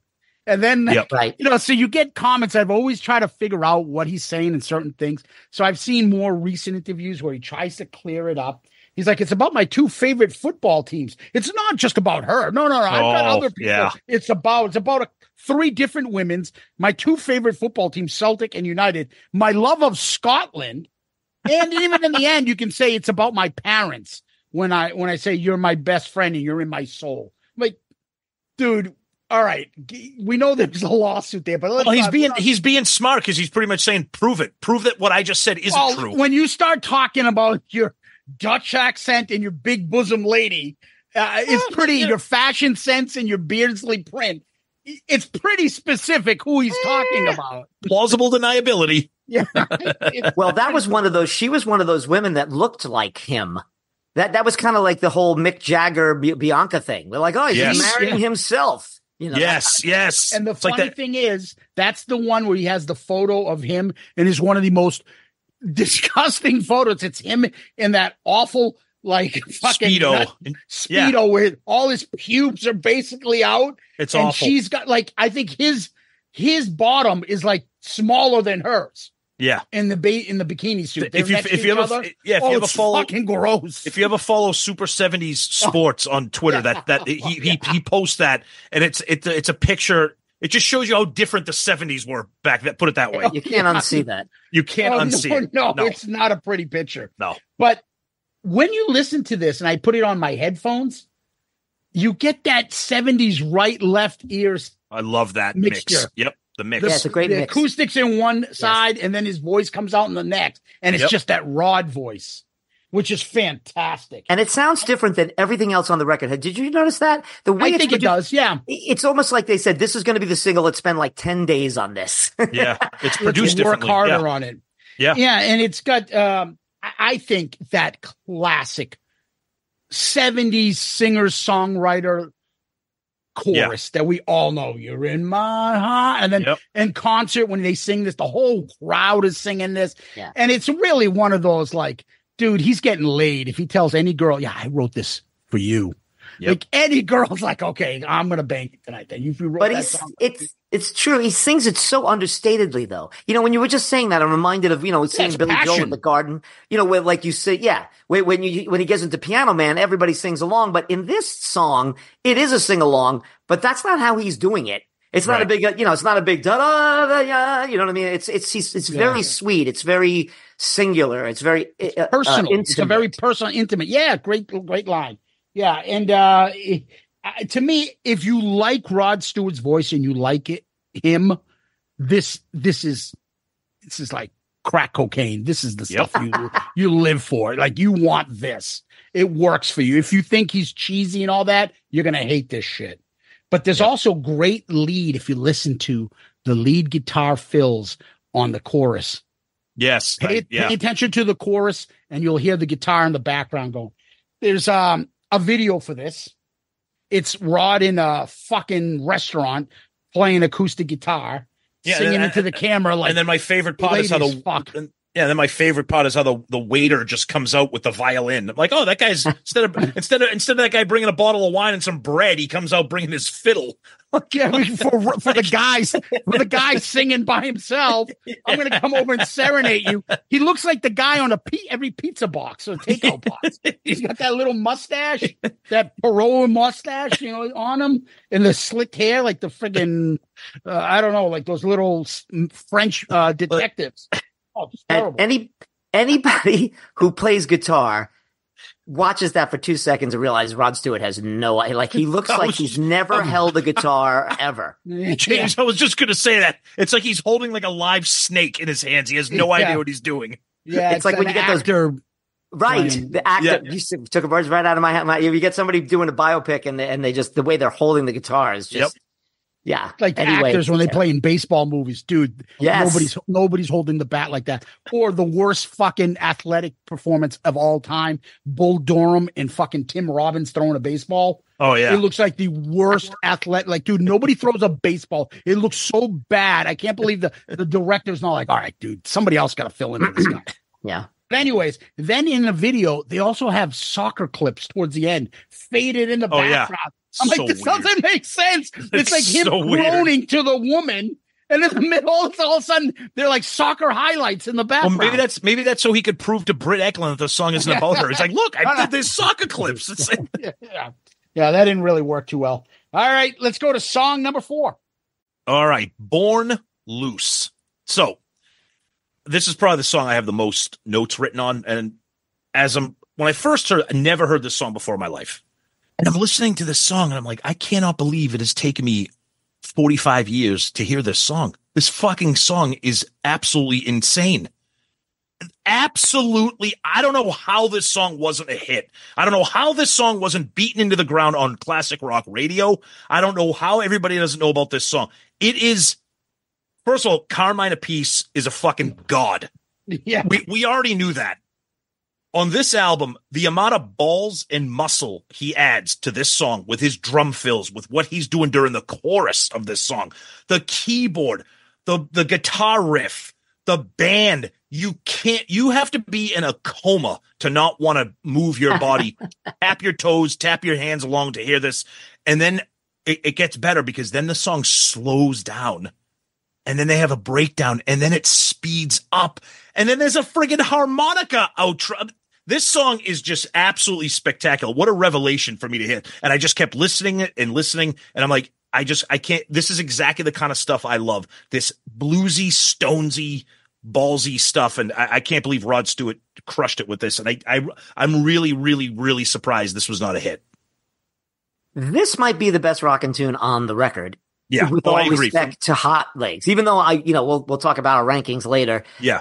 but this this song is one hundred percent an homage to the Faces. Totally. If you listen to a lot of the Faces, of course, the most famous uh, use of that is "Stay with Me," where it's gun gun gun gun gun, and then at the Yeah. end it goes into that, that rip guitar. roaring Love that guitar. yes. it, it's similar to that. It, it slows down. It's almost as you guys were saying earlier. Someone said this to me years ago, and I and, and I it the reason why the Rolling Stones don't get as much credit as the Beatles or these other uh, groups for their writing is it sounds like they're organically just jamming, and somehow a song came out of it. Yes. And that's what this sounds like. And then getting just to, I'll put my music writer hat on again. You Yeah. listen to the lyrics of this thing, and it's him telling a story about just being a, a, you know rascal, just being one of those guys who just cannot Hooligan. fit Yep. in. Yeah. And he's just, he's unapologetic about it. He mentions his parents in it and the people around him and society. And he just, he's like, it's a fuck it song. And, Yeah. and it's his fuck it song. And he's got a couple of on, on this record. But again, I really do believe this is sort of his love letter to his past. To, to growing up and wanting to be a rock star when everyone probably told him you're too ugly with a big nose and your voice is weird and you're, you know, and he, he like I said, Rod Stewart's rise was such a circuitous route. It was zigzagged. All he, you know, people. He almost got this job, and he almost sang on this record, and he almost was able to do that. And but he finally found his tribe with the Faces, and this song really is his. He's tipping his cap to his old pals. That's what I think. Uh, t- I totally agree. Yep. So Born Loose, Rod Stewart, Gary Grainger, Jim Cregan. I just put drums and what a straightforward rock song. Yep. And another song about kicking a woman fucking out again. Oh yeah, yeah. What the fuck, dude? Uh, anyway, uh, great solo. Then that breakdown. Wah, wah, wah, wah, wah, wah. I was good. waiting for him to go. I have a little change in my pocket, going jingle, jingle, Yeah. There you go. Yep. There you go. that, yeah. that is where Georgia Satellite gets it. And I if you so. notice in the lyrics, there are a part where he says, "Keep your hands off me, baby." Like and then all of a sudden, Georgia yourself. Satellite, yeah, I don't know. Yeah, it sounds awesome, but it is. You're right. I think you explained it just now perfectly. They sound like it's just a band that just gets into a jam, yep. like a small club. And do you ever see that documentary on the Stones? I forget what it came out not too long ago, and it showed the Stones like their early career. And anywhere they played, fucking chicks are just running on stage, mm. attacking them. Men too. Yeah, just jumping on, and they're trying to play, and yes. they're fucking. This is in the six early sixties, yes, 60s. And they're just running on. That's what I picture Stay With Me sounds like. Like Rod trying to sing, people fucking jumping over, guitarists are just cranking. This is that type of song where it just gets out of control, fucking ma'am, and this band is just fucking killing it on stage. That's how much fun this sounds like. Yeah, I agree. It sounds like a jam, and this is John Mayall playing uh, the harmonica on this. So uh, good way to end uh, side one. Can't believe four songs. Yeah, side one's over. Turn it Yep. over. Yep. Side number two. Be ready in a minute. Here we go. Yep. All right. So we go to You Keep Me Hanging On, a cover song originally made famous by the Supremes. Everybody knows that version. And then Carmine Appice's band Vanilla Fudge did it uh, not long after this one. Um, Yep. and it's a great song. I mean, I, I love the Supremes version. I like how this one starts kind of like the quiet, almost like instrumental. Like it's like you don't know what's coming, and then the song kind of gets into gear. And I think the instrumentation of the band, like especially coming after, you know, Born Loose was the last song on side one. So like Zeus said, flip the record, side two, first song. I think it's a really interesting cover, but I, I really think it works. And I think Rod's voice keeps this from being corny because I feel like this is the kind of song at this, at this tempo, at this pace, in this, this interpretation. If you had somebody with kind of like a standard 70s voice, I feel like it kind of it could have been a little corny. I I just feel like Rod adds a little bit of gravitas to it here. I think I, I I think it's a really nice version of the song. It's the best version of this song. Wow. Okay. It's the best. Now, there's a couple of things. You nailed it. So I want to give props to my friend Chris Barrera. I was just visiting with his family. We were down in LBI, and I was telling him I was going on the show, and he's a big fan of you guys. So Oh wow. to say Great. hello. Thank you. and you. Uh, he was like, I was like, you know what the, uh, that Rod Stewart does? You keep me hanging on the vanilla fudge version, which opens up the you know late sixties. Yeah. It was a hit. Was a big hit. Big That's hit right. with the Yep. with the with the with the Hammond organ and then the ba-dum ba-dum ba-dum ba-dum ba and then all that stuff. And he's like, "Oh yeah, of course, Carmine Appice. It was their drummer. He probably brought it to Rod. And then these guys, like you mentioned, a great band, tight as hell. They got together and they said, let's make it even better. It's Yep. more dramatic. And you called it, Tom. He pulls this off because he's such a great interpreter of Yeah. lyrics and song. It's really a beseeching song. And I've, I've said this many times. I wrote a whole piece about there are no happy police songs one time for a magazine. There are no happy Supreme songs. They're all about heartache, breakup, paranoia. Yeah. And he sings it that way. He takes all the pathos of that song and owns it. And when he's just a cappella there and everything just disappears, it's It's incredible. Yes. I think it's the best version of this song because it combines the Supremes, it, who I love, but also the Vanilla Fudge, which I'm not a huge fan of, but I am a fan of that that arrangement. But he does, they do it even more bombastic. It's like it's it's like Meat Loaf. Yeah, it's uh, it's a great way to put it. That- That's why you're here. You're you're the rock you're the rock author guy. You know how to put you know how to put things into words. So a great great way to say it. Thanks, but you, yeah, I, Yeah. I would say that this is the best version of this song. That's my hot take for this uh, particular episode for you. Guys. Okay. So uh You Keep Me Hanging On is written by the fucking legendary Brian Holland, Lamont Dozier, and Eddie Holland. So I'm a big Motown Temptation Supremes fan. I I, I don't know if I like it. I, I can't even almost compare it to the Supreme song because they're just so different. completely. I can't like one more than the other because I don't think they're the same song. They're just completely different. I, I love the Supremes version. I love this version. And you guys forgot to mention that smoke show from the 80s. Kim Wilde did this. Oh yes, that's right. Ah, I, There's by a- the way, by the way, you're right. Kim Wilde was a smoke show in the oh I my had a little bit of God. crush on her as well. Yeah, yeah, that's Yeah. why she Remember did, her? She's in Kids in You America, the right? Kids in America. kids kids in America. right. Yes. Yeah. There's a couple live clips because when I YouTube try to see if there was a video for this, and then there's a live clip of her singing it. Oof, Yeah. I had to I had to take a quick detour watching her sing and move, and this tight black skirt just. She's God. cute. I, oh lo- I also like the gender. Uh, we were talking about before. You reminded me, Tom or Zeus. One of you guys brought up the fact that Tina Turner did Hot Legs. which is a Yes. gen- it's a gender flip. It's like when Linda Ronstadt did "Poor, Poor, Pitiful Me," the Warren Zevon song, Yep. and this similar thing. It's like here, Rod is playing the victim again. Again. You know, and, and, and he just can't get this girl back, which, which Diana Ross did so beautifully. She had such emotion, such, she was like a wounded sparrow when she sang. yeah. Yeah. And he, though, sounds like a real desperate, desperate. I know. Yep. I know this might sound like blasphemy to you. I heard "Poor Poor Pitiful Me" in the '90s from Terri Clark. I'm like, this song is great. Yeah. I didn't realize it was a Warren Zevon song. There you go. Until Wow. I, I, I thought, never, I just knew I knew the country version of it was a huge hit. I was like, wow, this girl can sing. This song is so fucking catchy. yep. And I'm Yeah. like, you know what? I don't really like any of her other songs, but how did she come up with this one? Gee, I wonder how. It's Yeah. not her song. Yes, But the women covered Warren very well. No, I'm not insulted at all. I, I the first time I heard that song, Linda Ronstadt did it. I was a Oh, Z. really? Oh, I- okay. I- Yeah. When Will I Be Loved has been covered a million times. I heard Vince Gill's version of it. I was like, oh, this is a great song. I'm like, that's a Linda Ronstadt. No, it's not. It's Right. whose original song? Buddy Holly. Right. No, No, no, well, no, she the Everly Brothers. Right, but she does do a The Buddy Everly Holly. Brothers. What does she? Well, Um, she might do it, but I'm just saying that's the Everly Brothers song. Right, and then right. Linda Ronstadt, everyone calls it her song, Yeah. but it's not. But regardless, anyways, I don't want to get too far off. This is just musicianship off the charts. Yeah. And I have Carmine's book. I have uh, Rod's autobiography. And I think Carmine mentioned it on our interview with him, or he might have mentioned it off the air because I, off the air when we got off, we were talking about him and Kiss, but I wanted to be like, dude, I love Foot Loose and Fancy Free. I want to talk to him about that.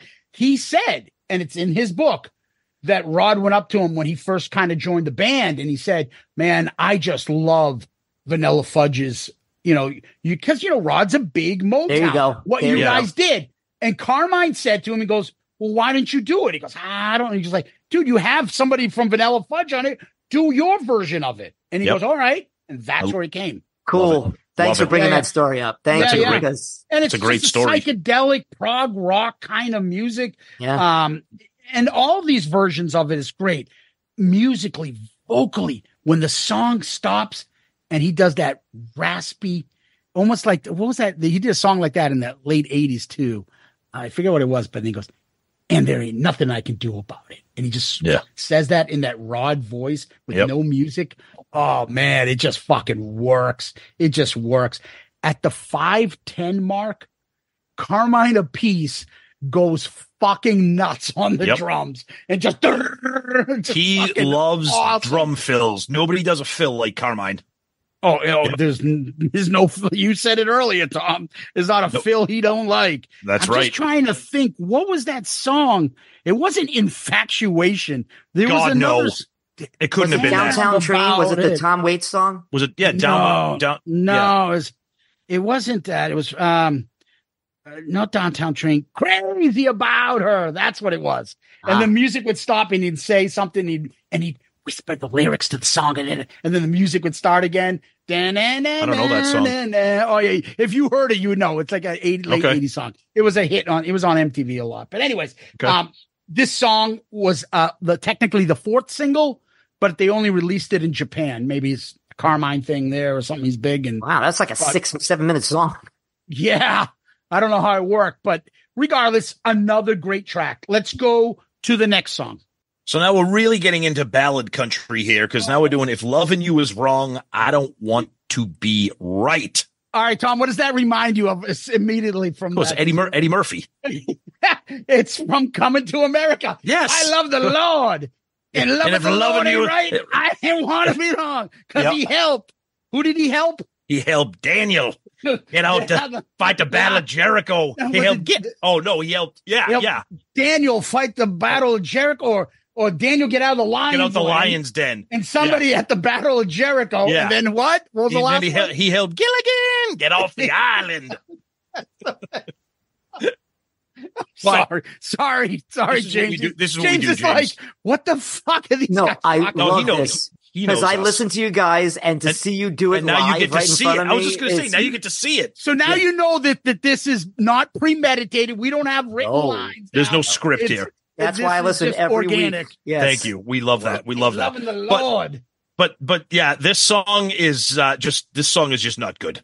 Uh, I'm so I'm just gonna. That's my hot take. I'm sorry. I don't know what you guys think yet. I don't. I know it's a cover, and I know the cover was very popular.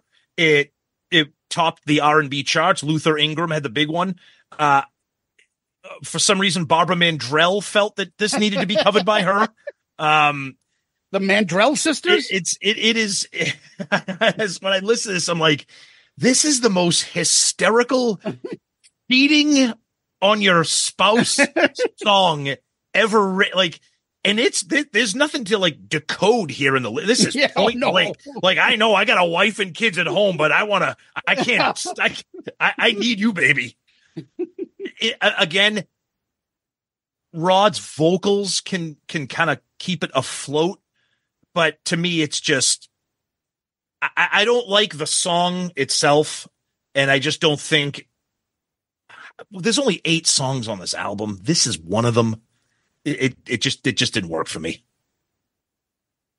Um. Yeah, I I can't put that any better. Uh, this Oh, is not okay. a good song. It's it's it's just it's despicable lyrically.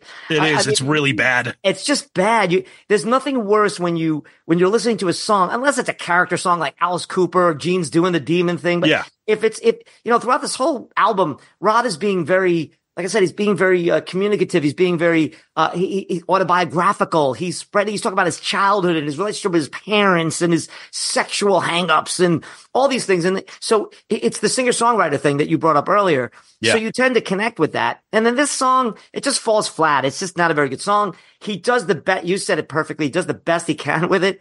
But I think the, the I have to say, Tom, you win for the best backhanded compliment of any of all time. Is there's eight songs. There's eight songs on this album, and this is one of them. It kind of reminds me, James. I I listen to a lot of movie podcasts, and sometimes the hosts will be like, "Yep, okay, so this is a movie. It has actors. It's got a script, and it's a movie." And like like, the only thing that makes it a filmed it. movie. yeah, and they right, filmed right, it. Right, right. And they filmed it. They filmed. They put it on film. Have you ever j- just really quick? Go ahead. Have you ever watched a film like a really big budget blockbuster film?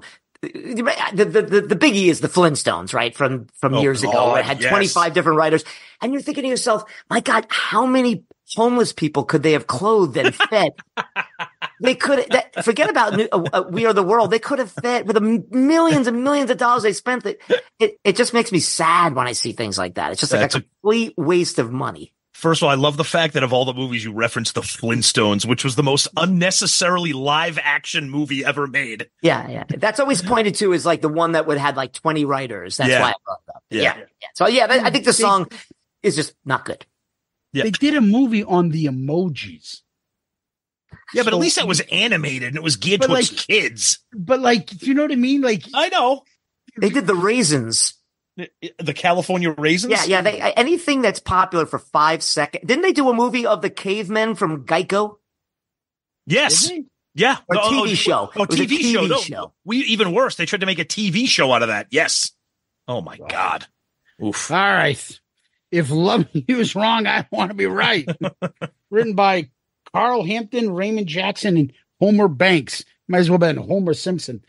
I, I don't. I, it's a R and B, ooh, Teddy Ooh. Pendergrass song or Yeah, something. I yeah, don't but know. it's but it's not though. The lyrics are horrible. it's not a love horrible. song. This It's not- it's not a- cheating. No, I know, he's but it's like, not like a he's battling his he's battling his demons, his inner demon, telling him this is wrong. I shouldn't be doing this. But, But ooh, come here, baby. Like he can't help himself. Oh, I get it. I get it. There's so many And- songs like this, but this one just is way too close to the Rod bone. is just too into the soulful Motown. Look, Yeah. let me see if I can pull this off. You, vocally, you might be able to. Okay, you Yeah, of singing this, but it's just, Yeah. but just because you can do it doesn't mean it should be done. And It's a bridge So- too far. It's a bridge Yeah. too far for him. He, he did. It, but it's again, not- when I put this album on, I don't like immediately fast forward. It's not terrible. It no, just because, doesn't no, do be- anything. for because me. you want you you still enjoy his vocals. yeah, because it doesn't. Yeah. It just doesn't do anything for me. So, Right.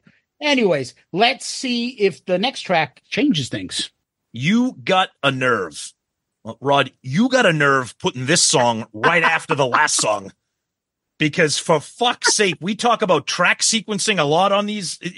Again, eight songs, Rod. This is one of them. You break out this sitar Ding, ding, ding, ding, and put me to sleep.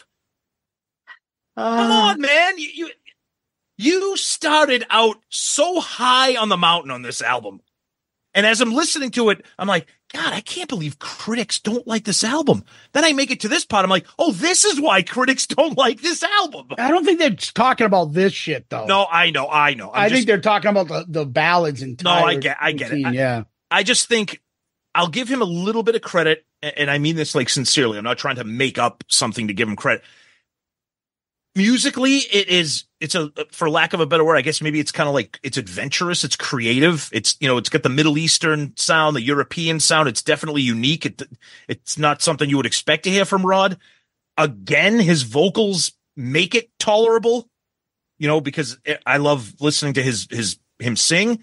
It's just not a song that I repeatedly go to on this album. this is a this is this is the transition. Yeah. You're going to get a lot of this for the next 10 years on Rod Stewart albums. It's just the, Yeah. he this is the mail it in that he gets shit for. And I agree with Zeus. This is not why he was lambasted. I already gave you my theories and I think they're fairly sound. Uh, that this was during punk, especially in England. No one wanted to hear this bloated rock star, rich guy with his private planes and his model girlfriends who look like him living in LA. I mean, the backlash among, you know, writers like Lester Bangs and Dave Marsh was fierce mm-hmm. because people loved those early Rod Stewart records. And I think that they often blamed him for breaking up the faces and being a solo guy and being full of himself, which is bullshit. But this is, this is the kind of mail it in quasi rock, not really a genre that again, like you said about the last song, it's Rod Stewart. He's singing well. He's doing the best he can with this, but it Mhm. just doesn't seem like a great amount of effort was put together for this particular song. It's the weakest rocker on the on the. Um, it's a rocker, right? It's like you would call it that. I mean, because it's I'm on the side with all ballads, even though that one is kind of psychedelic. But that when he, you know when he sings, he's singing the the uh, Supreme song very mellow and everything like this. This is this is kind of lost. Also, as you mentioned, track listing. It's kind of lost in the second side. I, I Yep. think it's kind of weak. So again, this is the precursor of like we are at the edge of Rod Stewart changing from that bluesy, boozy faces guy, you know, rockin' country into this whole other world he's going to go into. Do you think he's sexy and everything going forward? Whether people like it or not, he is changing and he doesn't give a shit. But I think this this song is weak, is what I'm saying there. Mm-hmm. Yep. You Got a Nerve by Rod Stewart and Gary Grainger. I was probably more aligned similar to you guys. And then when I did my research and I read the lyrics and I read the background, Mm-hmm. I love it. I love it. I Ooh. um the, the song the background is it's supposedly again Britt Ekland that she went on vacation something with somebody else or something like that and then she came back to him and he's like fuck off and he started doing his own thing I mean it's kind of if you read the lyrics it's a kiss off type of song like fuck off and Oh, yeah. I like it with the kind of spooky guitars and that eerie kind of sound, almost a little Zeppelinish battle Mm-hmm. of fucking Evermore, ding, ding, ding, ding, like that kind of mandolin shit. But you've got a nerve to come around here after all you've said and done. I thought I've seen everything. Obviously, I was wrong. I mean, there's a lot of shit. Like, yeah, you did all this stuff and stuff, and now you're coming back, pleading with me to take you back, teasing me with your charms. Yep. Ev- when I read the lyrics and listened to the song, it grew on me.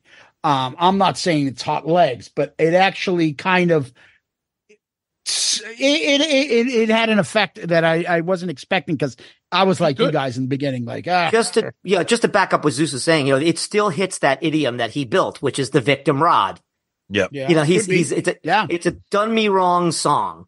Yeah. Uh, and it's almost as if the guy from the last song is getting his comeuppance, you know, in a weird Yeah. way. So if we Good want to go with that. Good point. yeah, yeah. So uh, last one, I'll leave you with this great lyric: "You were my life, you were my breath, you were made every move I made, but recently my opinions changed. The joke's on you, I'm afraid." Like to me, that's like, oh fuck yourself now, Yeah, fuck totally. off. Totally. and and so you got all sorts of like ooh what are you doing to me you're seducing me to ooh i'm cheating on my wife with you to oh you bitch get out of here i'm out you know i'm all done with he's all over the map but it's all about like bad relationship as, as they're a lot like kiss like have you ever met any women in kiss songs that's like likable they're Well, all the femme- assholes the or fe- bitches yes. or The femme or- fatale, right. The femme fatale that's dangerous to the poor old rock star. Yeah. Uh, you know, is it, she's going to eat me up, spit me out, strutter, all that stuff is just, you know, and then do my drummer and then you know then come calling back to me right. right. but Yep. interesting shit. Anyway, let's finish the album. So we finish up with I was only joking. okay. I think this is a great way to end the album. Love the harmonies, love the melody, love how the song builds. Each instrument gets slowly added to the song. You got a great chorus. After that, the drums kick in, the full band. I think it's a great song. It's got a solo that is killer that kind of surprises you with the way the song is. I was like, what the fuck? How did, where did this come from? My only complaint, I just, I think those backing vocals are a little corny. I just, I just, it, maybe I, I, I, and I don't know if it's the backing vocals themselves that are corny or if it's the tone of them that make it's like, my, my dear, my, it's like, it's almost like a, like a barbershop quartet, like jumping in and doing the backing vocals. That's the only thing that kind of like, honestly, uh, I'm listening to the song, I'm like, I really, this is, I like where this is going. I like how this is building. I think I like the lyrics, kind of the story he's telling. It's kind of like, I don't, I really, really, this, this song connected to me. Probably it's not my favorite song on the album, but I really, really felt something hearing the song, and I really, really liked it. I love what the band was doing, and I'll uh, just I'll say it again. That solo came out of nowhere. Like I, I was not expecting that, and it's fucking blistering. It's great, but I really think this is a great way to end the album. And I'm interested, James, in your thoughts because you said earlier how the first song and the last song kind of are is the bread to the sandwich. So I'm anxious to see where you go with this. This is one of the greatest songs that Rod Stewart has ever written. Ooh, all right. It wow. is absolutely gorgeous. It's Yeah. a beautiful, beautiful melody. It's a wonderful sentiment. Everything that Loving You is wrong is not in this song. It's just so autobiographical, Yep. so intimate, it's so personal. And it absolutely is his final kiss off to that young, gruffy, ballsy guy who had to make it in one of the toughest, com- most competitive parts of English rock music ever. And he made it. And now he's a big star and he's, he's not apologizing for it. He's happy to have survived all that. But he's also saying, you know, that guy is saying hot legs and stay with me and kick you out. He's just this braggadocio guy. Cause I really deep down, I'm just, I'm just trying to get along. I, I'm just that same kid. And to say I'm only joking and the beautiful way the song ends mm-hmm. with, with him just almost speaking that I'm, li- the, I have to leave the stage. He's again taking off the mask and saying that I've been wearing this mask and I'm going to take it off now and I'm going to be a whole other person again to, to his transition record. So yes, and the guitar solo, which is two different guitar solos. It's like this beautiful one. And then when it soars, it's, it's, it's almost like, I don't know if this is true, Zeus, and you'll read the, the credits.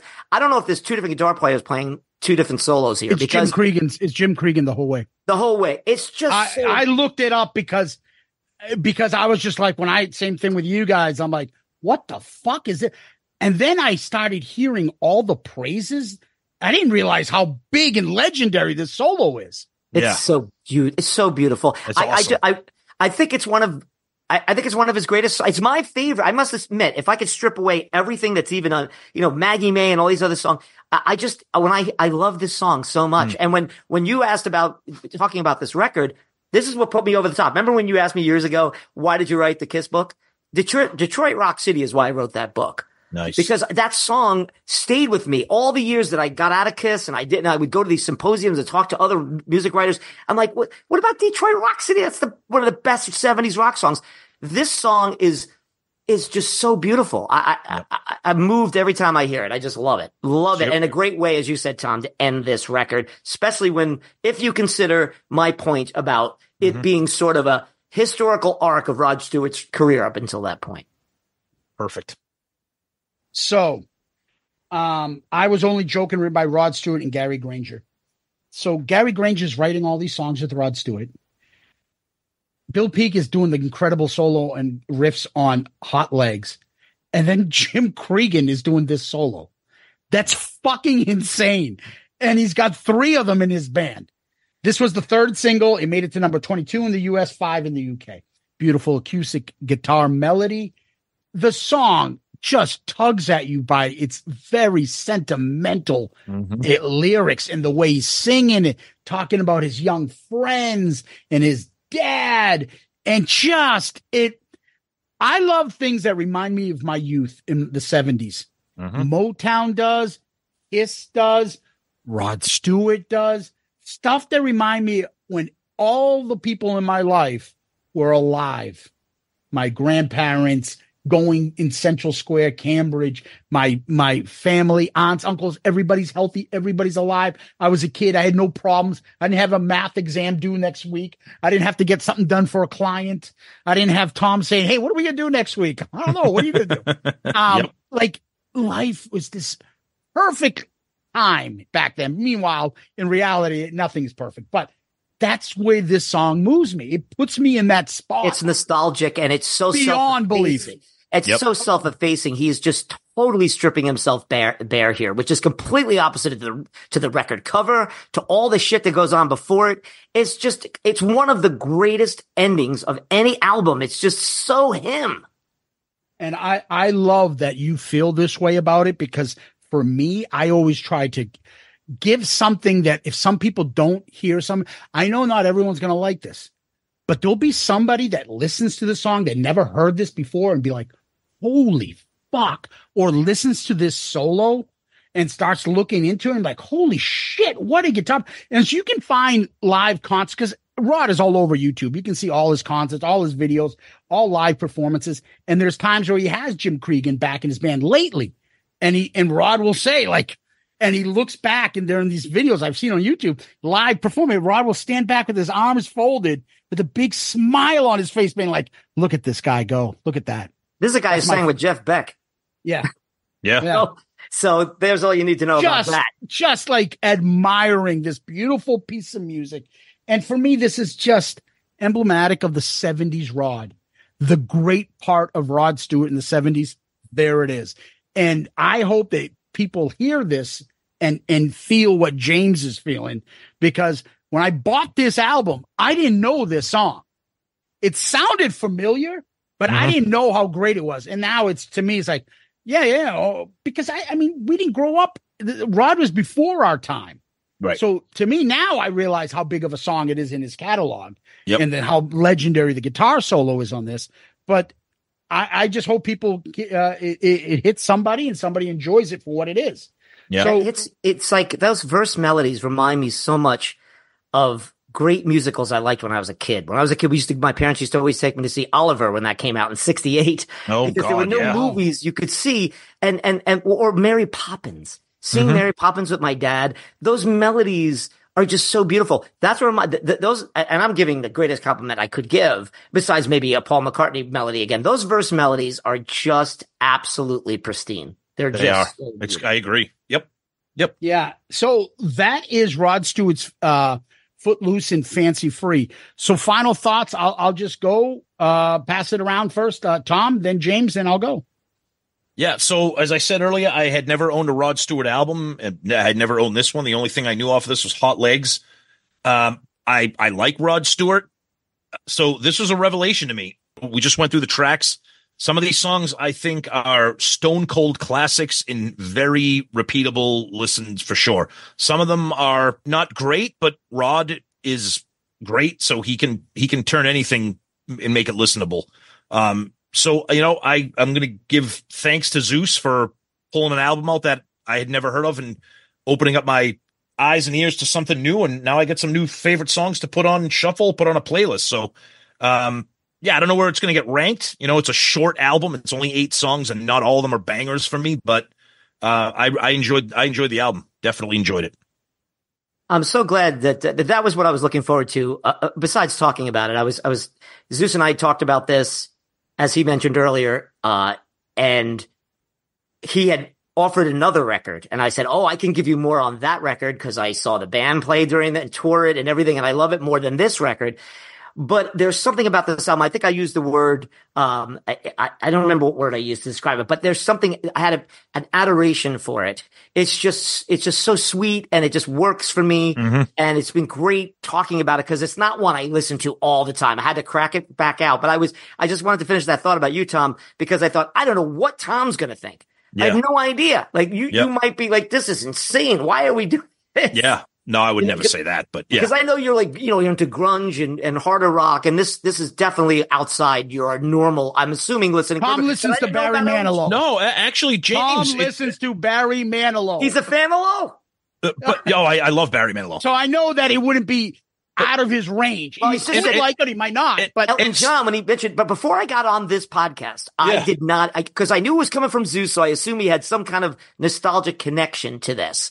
But I But I did, I, love- wasn't- I didn't know what I, was going to expect from Yeah, him. no, I, as I mentioned earlier, I mean, I love uh, Elton John is one of my all time favorites. I mean, I listen to Frank Sinatra. I love Steely Dan. I love easy listening. I love yacht rock. I love singer songwriter stuff. But for some reason, Rod Stewart, just other than the hits, just never entered into my my catalog. I didn't grow up with it in my house, so it's I didn't avoid him. He just never came to me. And now, Tom, I was the same way. I was the Yeah. same way. Yeah. Right. So, uh, but then I bought this specific album. And so what I say to you, James, is I know you might like other albums. To me, what stood out for me is this was that band. yes, Yes. And, and this band is a revelation to I think to uh, I think to Tom at least, and maybe a lot of other people. Like, God damn, who the fuck is this? Why did Yep. they? Where did this band come from? And And, thank it's you- that good, and you it's just- interesting. Yes. You just reminded me. I, another shout out to my my brother in law Don. We were listening to this a couple weeks ago, and I told him I was going to do this with you guys. And he's this is his favorite Rod Stewart album, so we were listening to it together and just you know remembering why we really love the record. So thank you both for having me on to talk about it because I I got a renewed interest in it again. Yep. And even the ones we didn't even like, it was nice hearing them again. And just like Zeus said, it just took me back to another time. It really Yeah. and, it- and, and, and, I- and I'll just eh, finish this thought here. Uh, Sometimes when we do ARC, some of the some of our best, or uh, I'll, I'll speak for myself. Some of my favorite episodes are albums that aren't well known. You know, I mean, we did like last week we did Black Album. You know, we've done Pyromania and Appetite for Destruction and Highway to Hell and stuff. But sometimes when we pick albums that not everybody knows, I sometimes those are even more enjoyable. You know, because you kind of you're talking to somebody that isn't familiar with it. You know, Right. and and I think this is a good example of that. Yeah, True. And what what Tom had said early, like I I had no idea. To me, that's why this show, this sidecast as we call it, is so much fun for me. Yeah. putting an album on his radar, or he does it to me. Yep. I love that That's great. conversation. That's and great. that's what Yeah. makes it fun. So, Yeah. this is a blast. all right, let's go to rankings. That's what we're doing next. Yeah. So why don't we go Tom, James, and then I'll go last if that's okay with you guys. All right. Sure. Okay. All right. So number eight for me is you got a nerve. Okay, yeah, uh, same. You got you Same. got a nerve. Yep. Okay. Really? Yep. Wow. Um, I'm gonna go with if if loving you is wrong, I don't want to be right. Oh, that's my number seven. Uh oh. Same here. Yeah. Well, I, don't think. I mean, there's only. I mean, there's only eight songs, and we know which ones are the good ones. So- Yeah, and we well, yeah. If anybody listened to the earlier part, we knew it was something was going to be seven and eight, and these Yeah. two, you could flip flop them both. Uh, I only, I think again, you got a nerve is more of a mail-in song, as I said earlier. Where if loving you is wrong, it really wasn't Rod Stewart's fault. He, he chose the song. I know he did the Yeah. best he could with it, so I don't put it last. I put it next to last. Okay. Zeus seven for you. All right, so for me, I'm gonna go with in a song that I like. You got a nerve. Okay. Um.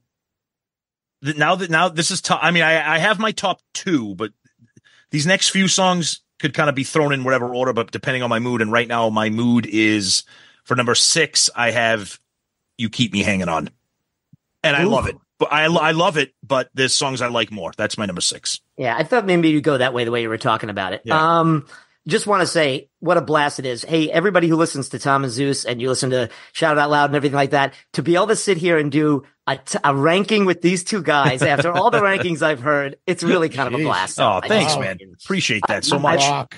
I love it. I love that uh, I'm doing this with you guys. Okay, Th- so my number, what are we up to? Number seven? Six, six. Oh, six. Right. Um, number six for me is You're Insane. Whoa. Okay. Not to, you know not, not into the funk rod. Okay. I, I like, but by the way, I l- really like the song a lot. But as Yeah. you said, there's eight, so you got to Yeah. put them somewhere. And I just like the, the, the top five better. Okay. Yeah. Zeus. Yeah, I'm I'm with you. Uh, I want you're insane next. Okay. Uh, number five for me is "You're in My Heart." Wow. Oh, Yeah, I know. I, I, it's a great song, but James, what do you got for five? I think I'm, I know where, where Tom's going. All right. Uh, number five for me is Born Loose. I think it's the, uh, like I said, it arguably the best, um, rocker on here, but I think you guys know where I'm going for the, the best rocker on here, but it's right there. I'm sorry. number five, James. God damn you! All right, it's okay. This is why I love rankings. I just love yelling at people. I know. I like being Um, part of this. James, I'm going with you. Born loose. Oh my god, what's the matter with the two of you? God.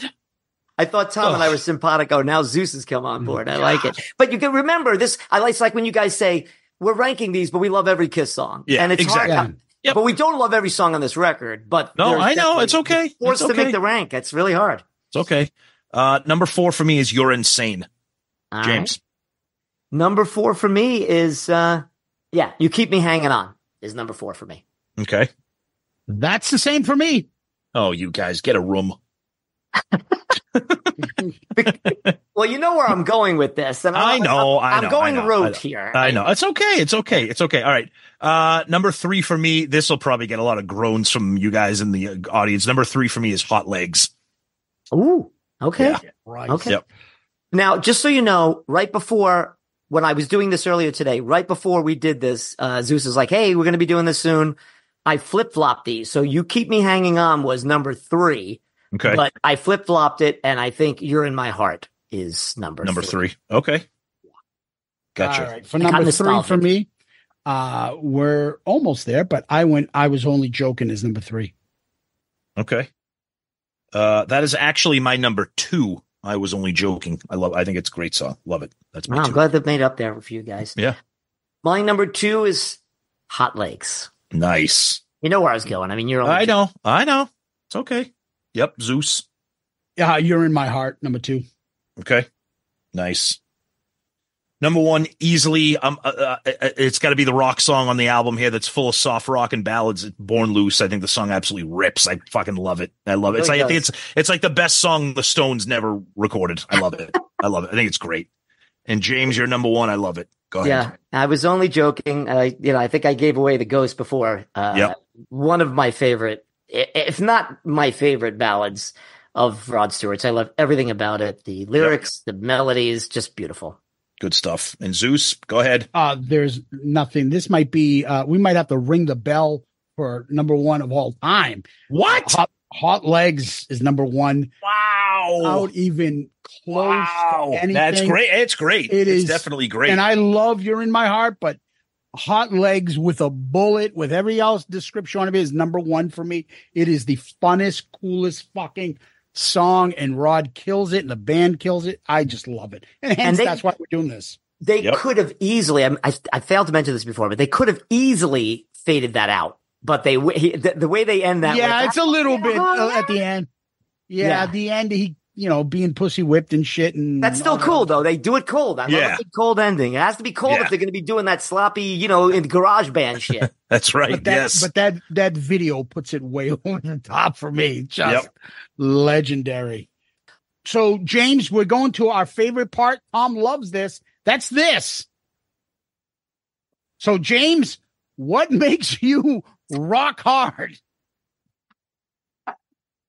Well, we love, we, we, I mean, where else? What other show can you go on where people are going to ask you that?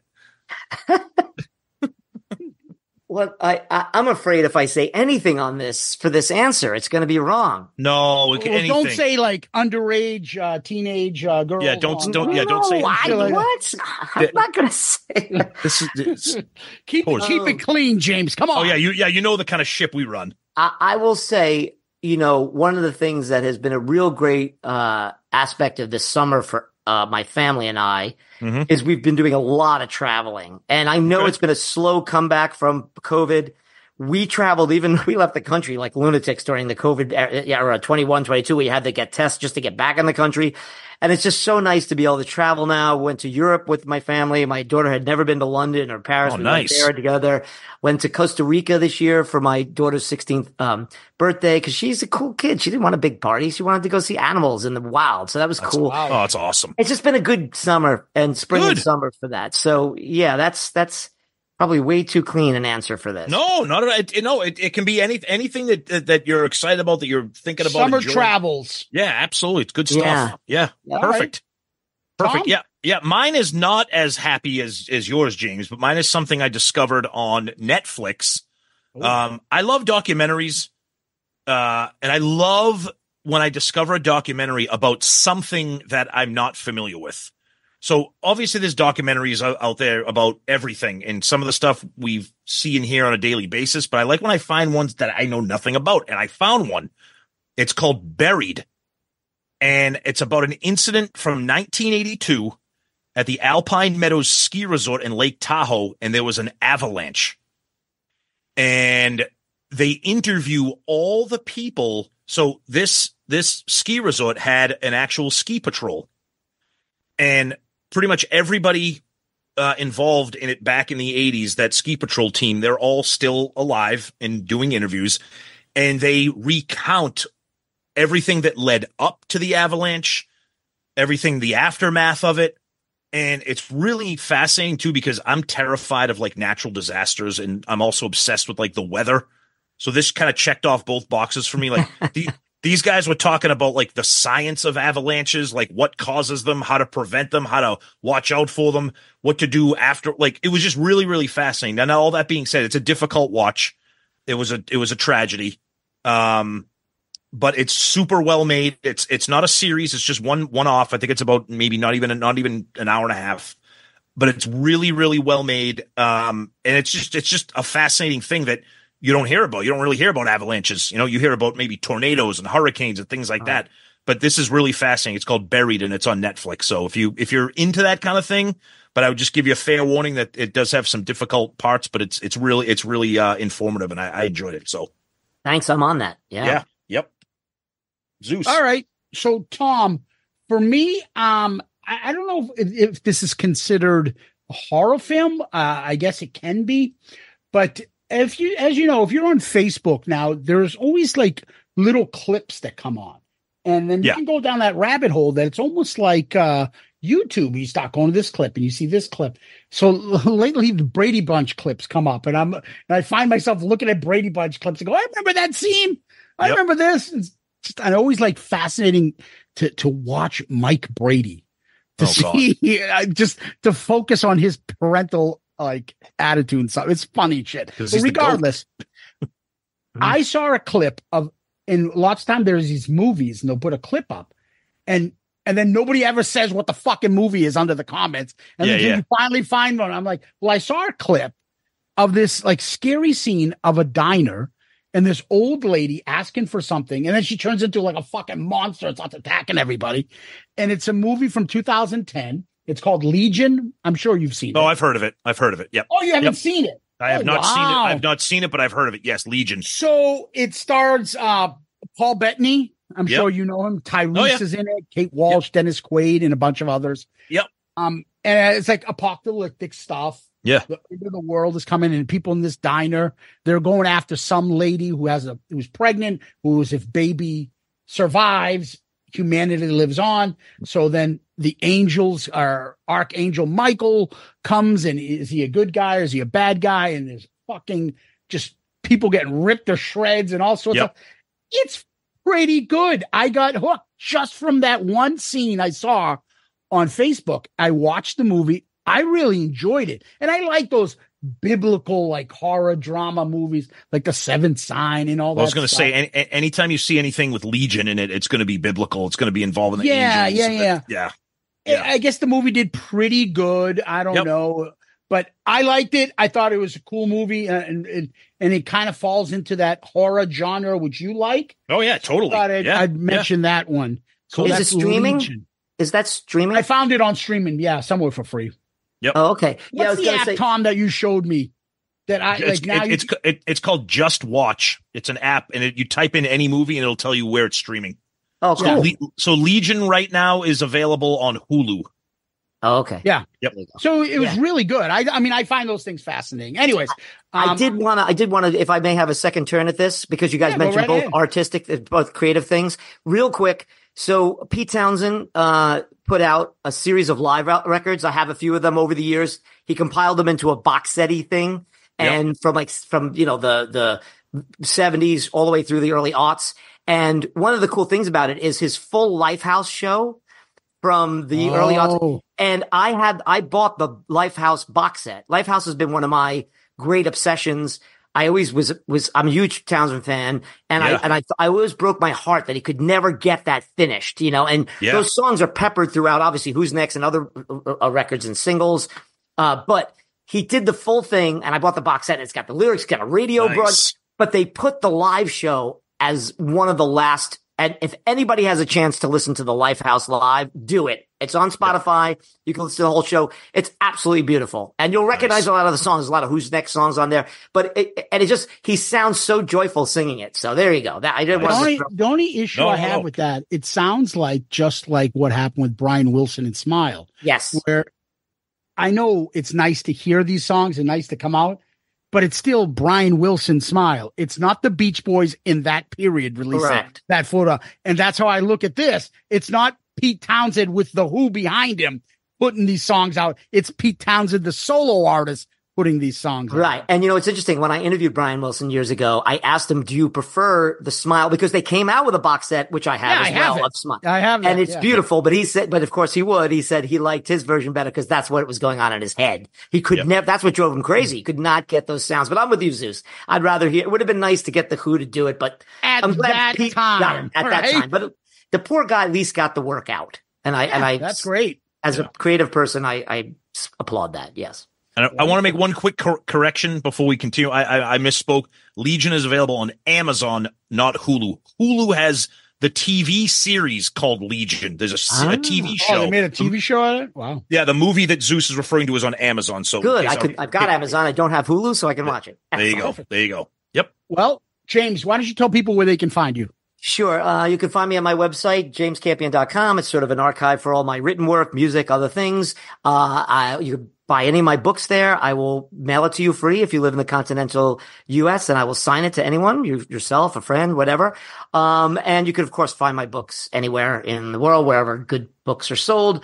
And also my contributions to the brand new Your Glasses. You'll be able to find that out there. Uh, we're Mhm. recording this the day before it comes out. I'm very excited for you guys. Thank you. and that's, Thank and thank I'm you. at Fear No Art on Twitter, or what they call X now, I guess, and Yep. at James Campion on Instagram. My author page just completely disappeared. This happened to Eddie Trunk. He and I were going back and forth. Like, if you have another page that controls the other pages and it has your name on it, and then I had an author page for like 10 years and they just got rid of it. And my assistant tried to get it back, and it, it's, and I finally said, you know what, screw it. I, I, the hell with Facebook. I have Facebook pages for all my books, including Shout It Out Loud, and I'll do that for the Prince book. But as far as me having a presence on there, I'm kind of like, you know, right now, just kind of laying low. But that's how you can find me in the other social media places. Awesome. Awesome. Awesome. Well, James, we can't thank you enough. Appreciate you being here, buddy. And we can't wait to connect in person again and share a beer. Yeah. James- thank you guys. Thank you. James, you. thank you so much for joining us. This was a blast. We love hearing from you, talking to you. It was great to finally meet you, but just to spend some time on our show with you has just been a thrill. So we're so glad you were able to join us. We'll Thrill was definitely, all we'll mine. de- definitely have you back. So thank, Thank you so you. much, buddy. yeah. good luck. Had a, I had a blast. Best of luck with the book, guys. Again, Awesome. Thank, congratulations. thanks so much, you. James. All right. Be good. We'll talk. Peace. All right, buddy. All right, Tom. So what we do next, we have a little work to do. We rank the album covers first against the previous albums we've done. So do you want to read your top five? Yep. My top five album covers are number five, Rage Against the Machine. Number four, Blizzard of Ozz. Three is Purple Rain. Two is Master of Puppets. Number one is Diary of a Madman. Um, I like this album cover. I mean, I know it's just a close up of his mug. You know, it's nothing really, you know, spectacular or, or crazy, but I just think it captures a vibe. It captures a moment in time. And I just think it's really cool. And I did liken it to Hotel California. So I'm going to put it just below Hotel California. I'm going to put it at number 30. Okay. All right. Number 30. Yep. All right, Tom, my top five Peace of Mind, Diary of a Madman, number four, three, Appetite, two, Blizzard of Ozz, one, Hotel California. Um, I, you know, it's a good album cover. It's very nostalgic for me, very 70s. I'm going to go higher, a little higher than that. I'm going to Okay. go at number 16 and underneath purple and above difficult to cure. Okay. All right. Let's move over to album rankings. All right. My top five album rankings are number five, Journey Escape. Number four, Shout at the Devil, Motley Crue. Number three, Prince, Purple Rain. Two, Rush Moving Pictures. And number one, Metallica, Puppets. We say this every week, or at least I do. It gets extremely hard. It continues to get very difficult to rank these because there's so much, di- so many different genres and styles. I like the album. It's only eight songs. Some of the songs are not great. Um, but like I did with the album cover, I'm going to put it right below Hotel California. I'm going to put it in 42. Okay. I like it, but again, it's short and that, I, that kind of gets a penalty for me. So, It does like- because it's short. well, the, the re- Really? I, I, I, let me clarify. It gets penalized because it's short and some of the songs aren't good. So if you're going to have a short album, you better make sure that they're all bangers. That's my theory. Okay. Okay. Well, I will say the same thing though. I say Zeppelin albums have eight songs, and not all of them are great. Right, which is why Zeppelin Four stinks. I still can't believe it. that's your theory. All right. Go ahead. Well, Tom, for me, uh, my top five: Pyromania is five. Four is Blizzard of Ozz. Three, Hotel California. Two, Automatic for the People. One is Purple. Where am I going to put this album? I'm going to put this album just outside my top 10. Whoa. I'm putting this at 11. Damn, I'm bro. Underneath 10 and above Who's Next. wow. Um, I, I love it. Even the worst song of this album, If Loving You, isn't that bad for me. Okay. But that fucking top three in Hot Legs, woo, does it get bonuses for having one of my favorite songs of all time? Yeah. Um, that helps a lot. And I, it's just a nostalgic album to me. I, I fucking can't get enough of it. So, uh, Foot Loose and Fancy Free is number 11 for me. And that's the Rod Stewart album, Tom. nice. Nice. Tom? Love it. Why don't you tell people, uh, where they can find us? Yeah. So if this is your first time hearing us, we are Shout Out Loudcast. We are an all Kiss podcast running Kiss related episodes every Saturday. We do these album review crew episodes once a month. And the best place you can find out about us and the show and everything else we do, including our brand new book, Raise Your Glasses, which is available. Go to our website. You'll see a link right on the landing page with all the details and the Amazon link to buy it. Shoutitoutloudcast.com. That's where you can find out all about our show and the book and so much more. So please go there. And of course, please, we love to hear from you guys. Send us an email, shoutitoutloudcast at gmail.com. Follow us on all the social media, Twitter, Facebook, Instagram, TikTok, YouTube. And we are a proud member of the Pantheon Podcast Network of shows. Yeah, uh, Tom, uh, you you said it. Everywhere you, everything you want to find out about this album or previous album review cruise uh, episodes, you go to the website. Has everything. Shoutitoutloudcast.com, as Tom mentioned, and make sure you go out and get your copy of Raise Your Glasses, our new book, which is available now on Amazon, or go to shoutitoutloudcast.com. Click on the button right on the landing page. It'll bring you right there and order the book. You will not be sorry. Um, Tom, what we do before we sign off, we always end on famous last words. Do you have any? I do. Smile for the camera. Please mind your manner. You've got to keep your image clean. Clench your fist. Don't you take a piss. Makes you want to slash your wrist. You Did he say? Did he say piss cup? I haven't talked about the piss cups in a while. Ugh. Anyways, Tom, you've got a most persuasive tongue. You promise all kinds of fun, but what you don't understand, I'm a working man. James Campion, Tom Loudcasters, Kiss Army, Rod Tards. Thank you. Guys, you're the best. Thank you so much. A massive shout out to James Campion. He was fantastic on this episode. What a thrill to have him here. Great stuff. Zeus, I am very grateful for you picking this album. I love learning about stuff that I don't know when it comes to music. Good pick. Very excited about it and love the episode and And whose pick is it next month, Tom? Patreon, and we don't know what that's going to be yet. But Zeus, as always, my friend, thank you, Rod Tards. Peace out, Girl Scout.